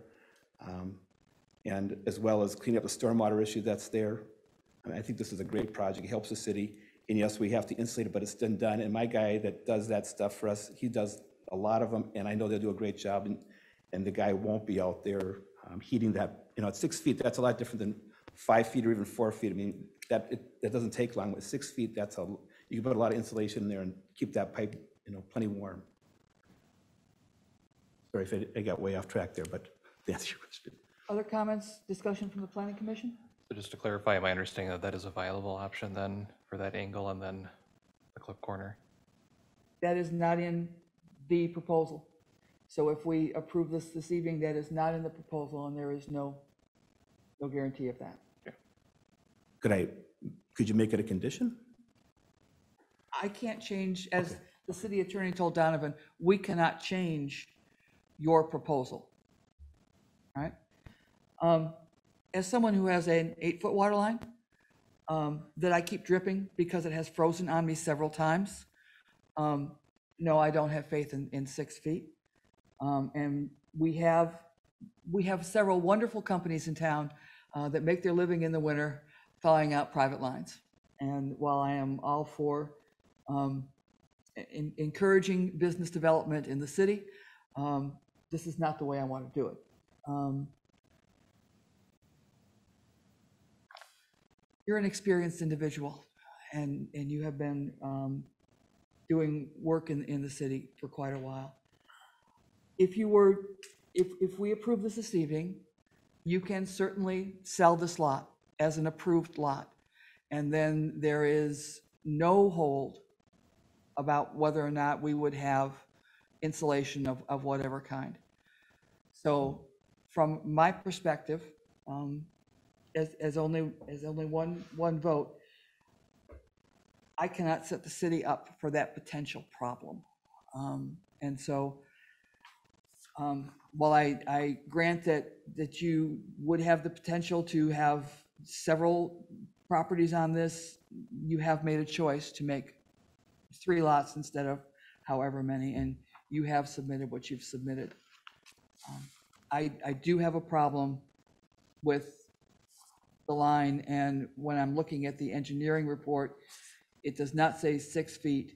The estimated service line depth is four to five feet at its highest point. He- He's guessing, I sent, I have stuff from my engineer I sent him that shows the exact connection of the Y. He's, That's inaccurate. that's not right. And that's We- been We do accept the six two as a valid number. six, six, two, Point two, correct. point two. Um, That's an important clarification for the record. I'm I'm glad you All right. raised it. And, Yeah. and, and you may certainly make that clarification. And that's within the, the crown, you know, at the crown of the road. So, you know, at the edge of the road, it's going to be less. I understand that. Okay, Are there other comments of the planning commission? Yes, Donovan? Um, Can I address a, a question to you, Commissioner Miller? Um, I found it contradictory. Your findings of fact um, are for adoption of a, you know, a denial due to the fact that there's a not, you know, non-conformance with city standard. So do you want to adjust your findings of fact, or adjust your motion to, to uh, perhaps find new findings of fact, or just, or, As I heard Mr. Miller's motion, it was, he was modifying what you had written on here to make new findings of fact. And, and he, Mr. Miller, did you require, make an additional requirement? The two findings of fact. Okay. Yeah, for and- approval. And what are those findings, sir? conditions? Oh, I'm sorry, those were two conditions of the approval, right? Um, I'm sorry, did I not make the proper motion? No, it sounded to me like you were adopting the findings of fact. Oh, which- no. Which right above are actually contrary to what you're proposing. I just see what want- you're saying, adopt the just so we findings have of it facts for clear. approval, yep, I see what you're saying, yep. No, uh, let me, um, I, okay, we have to withdraw that, or do I have to clarify it? Madam Chair, um, may I make a comment, please? The uh, Commissioner's motion was perfectly understandable for approval, as I understood it. Is No, it that was correct? not, sir. No, it was not. He is adopting findings of fact. The findings of fact are very clearly stated here for denial. What he is saying, and what I believe Mr. Miller wishes to do, is, and I'm going to ask him to restate his motion very clearly, was to approve the request with two conditions. Yes, that's what I would like to do. I, I apologize, and I'll make it And very that's what I clear. heard, Madam Chair, so I didn't But- want it to get confused. Yep, let's, so let's uh, make it clear. Um, I would like to recommend that the planning commission approve the proposed minor subdivision uh, on the portion of the existing lot located at the intersection of Broadway Avenue and uh, 232nd into three lots with the following two conditions. One, successful completion of the lot line adjustment, and two, satisfy the techno, technical requirements for completing the service uh, for insulated sewer line at a minimum of six-foot depth. Recommendation. And to that, that does council. not have any Oh, insulation. I'm sorry, recommendation to council for approval, Right, I I'm didn't sorry. write that correctly. Yeah, I see that. That's right, because we're recommending it to council. Is that okay? It- Do you have that second? Yep, I had the second, and I'd second, you know. All right. I would request an amendment because you do not, since you are re- approving this, I believe that you also need to meet the other technical recommendations of the city engineer with respect to driveways. You're going to need to meet the requirements of the watershed district. So, so those things need to happen for us to have a valid and appropriate subdivision. It'd be a, you know, it'd be a full, a full motion to address other city concerns. Yes. I mean, it's simply a recommendation. Council can, of course, you know, uh, approve with their conditions as well. Um, There's also the additional one that um, the engineer um, stated that he desired that, uh, you know, lot, lot number one have a um, document um, recorded with the deed that um, the sanitary sewer line um, is subject to, you know, Freezing. to freezing in the wintertime. So would uh, something as to the effect of any other conditions, city engineer and city council recommend? Would that be something that covers all of that? Or do I have to specify everything individually? It- I believe that that would be appropriate. Okay, let's try this again. Is that okay? All right. Karen, are you, are you, are you okay with, are you keeping up here? I'm gonna have to watch it back, but go ahead. All right. Good. All right. Um, I recommend that the planning commission approve the proposed minor subdivision to the city council, um, um, approve to the city council. Recommend to the city. Recommend to the council city council. Approval of. Approval of the, the proposed minor subdivision on the portion of the existing lot located at the intersection of Broadway Avenue and 232nd Street into three lots with the following conditions. One, successful completion of the lot line adjustment. Two, satisfying all technical requirements for completing the service for insulated sewer line at a minimum of six-foot depth. And three, any other conditions uh, city engineer and city council recommend. And watershed district recommend. Are you willing to second that? I, I second that. All right. Is there any further discussion? Karen, could you please call roll? Commissioner Young, No? Commissioner Batty, Aye, Commissioner Miller, Aye.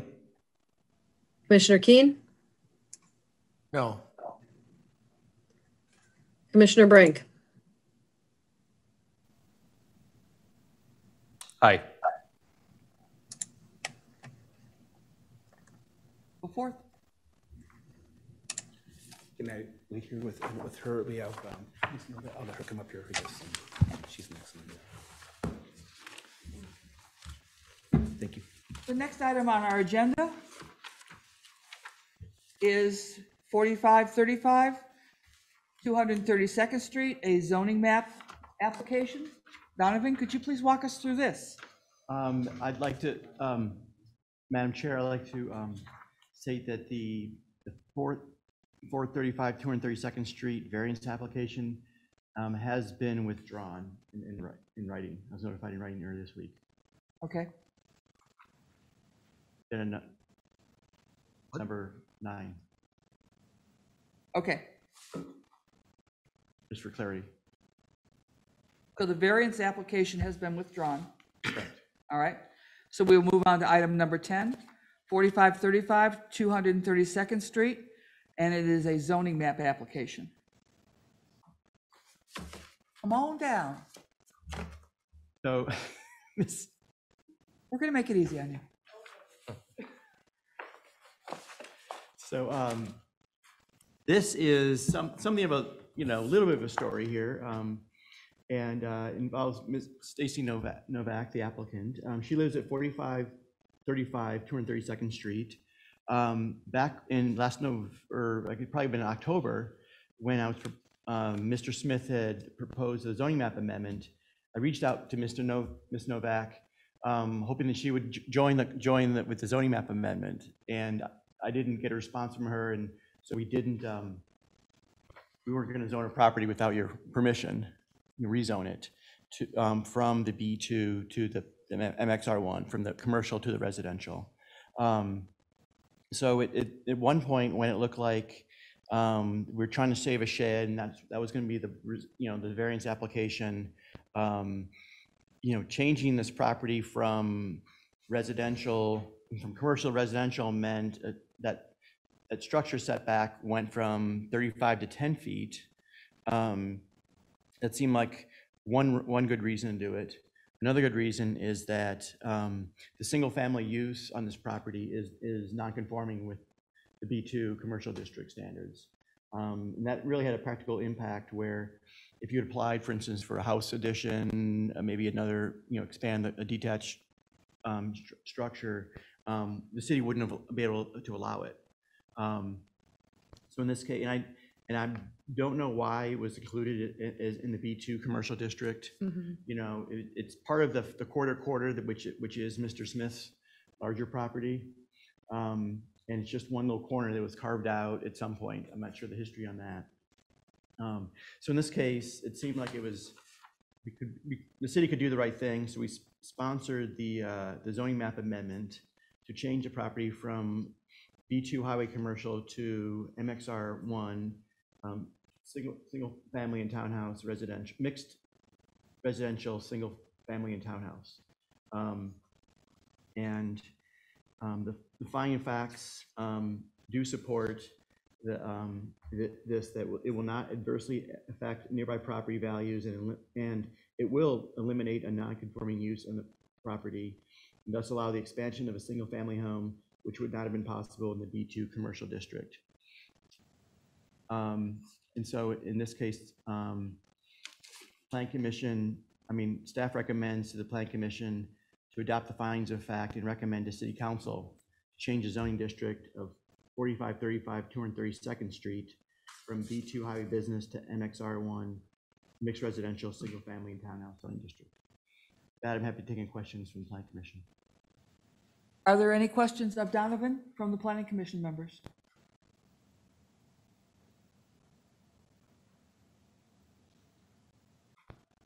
Ms. Novak, um, I believe that this is something that you wish to do? Yes, ma'am, I had wanted to make sure that it wasn't commercial anymore, that it was residential, because I believe my tax, I've been getting overtaxed on it too. Very good. We do have a public hearing slated for this this evening. I don't see anybody here except you who would be interested in speaking at the public hearing. Karen, do we have anybody online who is indicating that they would like to speak at the public hearing? I do not. Can you open it officially and close it? Yes. Sorry, it's been a really long day. Hope Paul's about- having a good, I- I hope Paul's having a good time at his family reunion. All right, I am officially opening the public hearing. I do not see anybody here in the room. Karen, one more time, do you see anybody online who would be interested in speaking to this public hearing? Commissioner Young, I have no one who would um, be willing to speak. Last chance, going, going? I'm now going to close the public hearing appropriately. Planning Commission members, do you have a motion? Um, I'll make a motion to adopt the findings of fact, uh, recommend the city council to change the zoning district 4535 232nd Street from B2 highway business to mixed residential, single-family townhome, townhouse zoning district. Is there a second to that motion? Second. That was Mr. King. Is there any discussion of the motion by the planning commissioners? Karen, could you please call roll? Commissioner Young, Yes. Commissioner Batty, Aye. Commissioner Miller, Aye. Commissioner Keen, Aye. and Commissioner Brink. Aye. You have been approved and by the planning commission, and it is our recommendation to the city council that this also be approved. Now, there are a couple of steps after that because it's a zoning change and it has to be approved by the Metropolitan Council. But I don't, I would not expect that they would have an issue with this. Yes, ma'am. All right? Thank you. Have a very good evening. Okay. Karen, I don't believe we had a council member on tonight's call, did we? Um, no, we do not. Donovan, do you have other items for us to consider this evening? Um, no, I would just, um, state that we do have an agenda item for that, that July twenty-eighth, um, council meeting, and if I can do a scramble, maybe we could talk about some more zoning stuff on that first planning commission meeting, but I don't want to commit at this moment. You know, on the, that would be the, Comp plan? the fourteenth. Zoning, the- the, the zoning code. Um, Alright. that's it for me. Yes, sir. I'm just curious, is, you know, 217th seems to be coming up a lot. Um, And, and I'm just wondering if it would make any sense to sit down, you know, in discussions with the city and just, is there anything we can do to look at that road and, and what's going on down there to kind of figure out what the best solutions are? Because it seems like every application that comes in is looking for a variance on that road. I mean, and they say if you're gonna, you know, be granting variances all the time, you might as well change the code or the rules, right? I mean, and so we've granted, just since I've been on the commission, a number of variances down there. And I'm just wondering, is there anything we can do to look at that as a, as a city, um, to kind of figure out the best solution for that? I mean, it was really hard tonight. I mean, in, in just, I'm gonna be open, and I know we're on the record, but it was really hard tonight not to, you know, give them suggestions to work with that, and I know we're not supposed to do that, but I mean, obviously, there's a lot of things they can do to, to make that work without necessarily a fifteen-foot variance. But they may still need something, but you know, Donovan, is there anything we can do about that?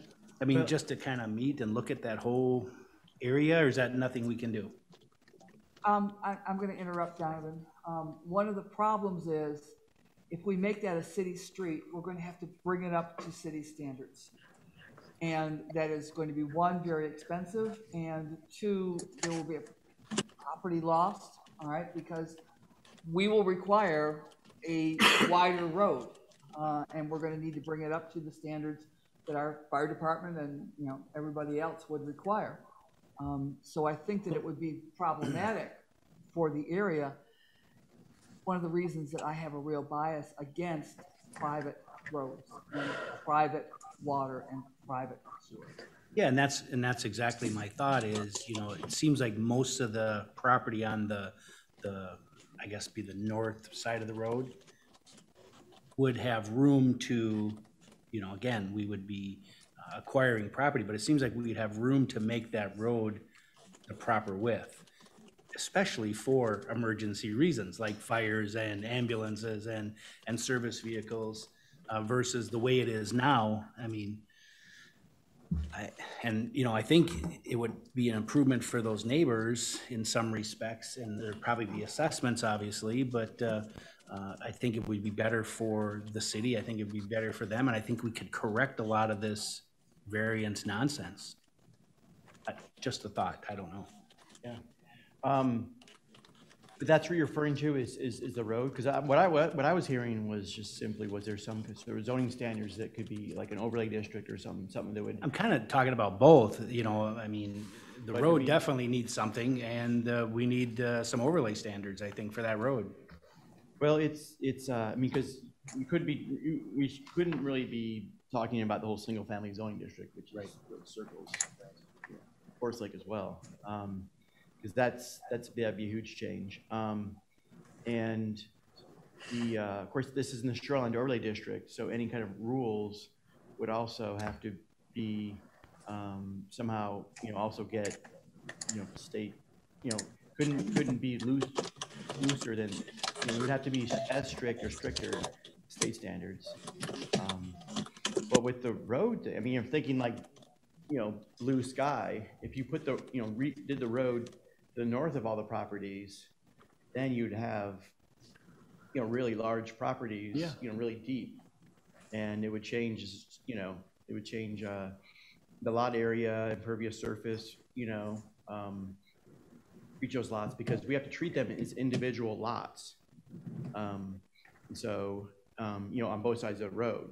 But, you know, if you, the road shifted north, which, if you look in the old plat, the road did have a different location sometime along the way. I think it was platted in the forties, or at least one portion of it. I think, it you know, used to kind of dip southward somewhere. Um, And, uh, I mean, that's, that- you know, again, that, that is, is, is, you know, Commissioner um, Young mentioned, a huge cost and, you know, benefiting, obviously, those, those property owners. I mean, for the city, our biggest concern is more about the drainage. I mean, we talked about one drainage ditch being filled in um, between those properties, which is great. Dave could, Dave could, he just got out there and read the land. And then we went down the shoreland, you know, and the, you know, the heart, the, the rocks. And Dave clawed away a few rocks and sure enough, there was, you know, the, the, the, the town drain tile with concrete and corrugated pipe inside, which he knows, you know, from elsewhere in the city, you know. You know, he knew it was there. Um, and, uh, you know, when they think, you know, they, you know, city staff thinks that, that other ditches have been filled in. And that's, that's our biggest concern is that type of flooding.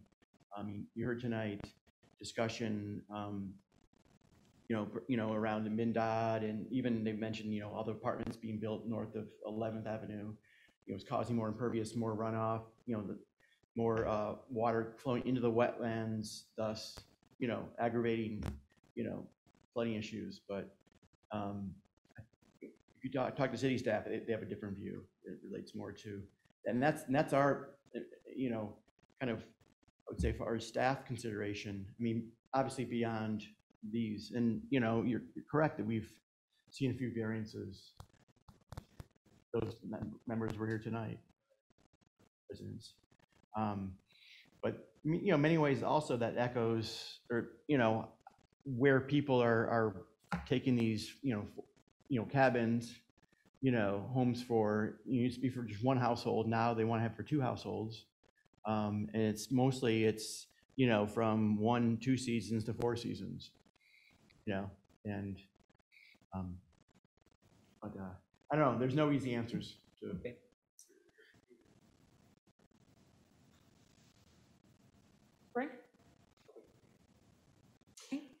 Nothing right now, but when we get off of YouTube, I do have a question about two hundred and seventeenth Street and the house that was built recently. Patty? I have nothing else. I will, I will, I'm sorry, one more thing. Um, the applicant, um, for the seven zero eight nine variance did appeal that decision last week. That'll go before, um, council on the, in the first meeting in August. apologize for not being here. It was an opportunity for me to meet my daughter in Boston. I don't get to see her very often. And I don't think I've missed very many meetings. So, my apologies. Please tell us in the future. It's interesting. Yes. Uh, I had, in- had actually intended to do it from, from Boston, but, um, we ran into a problem. so. All right. With there no other further discussion, I hereby close the meeting, and the meeting is now ended. Karen, you motion can to shut, adjourn. a motion to adjourn, please. Make a motion to adjourn? Second.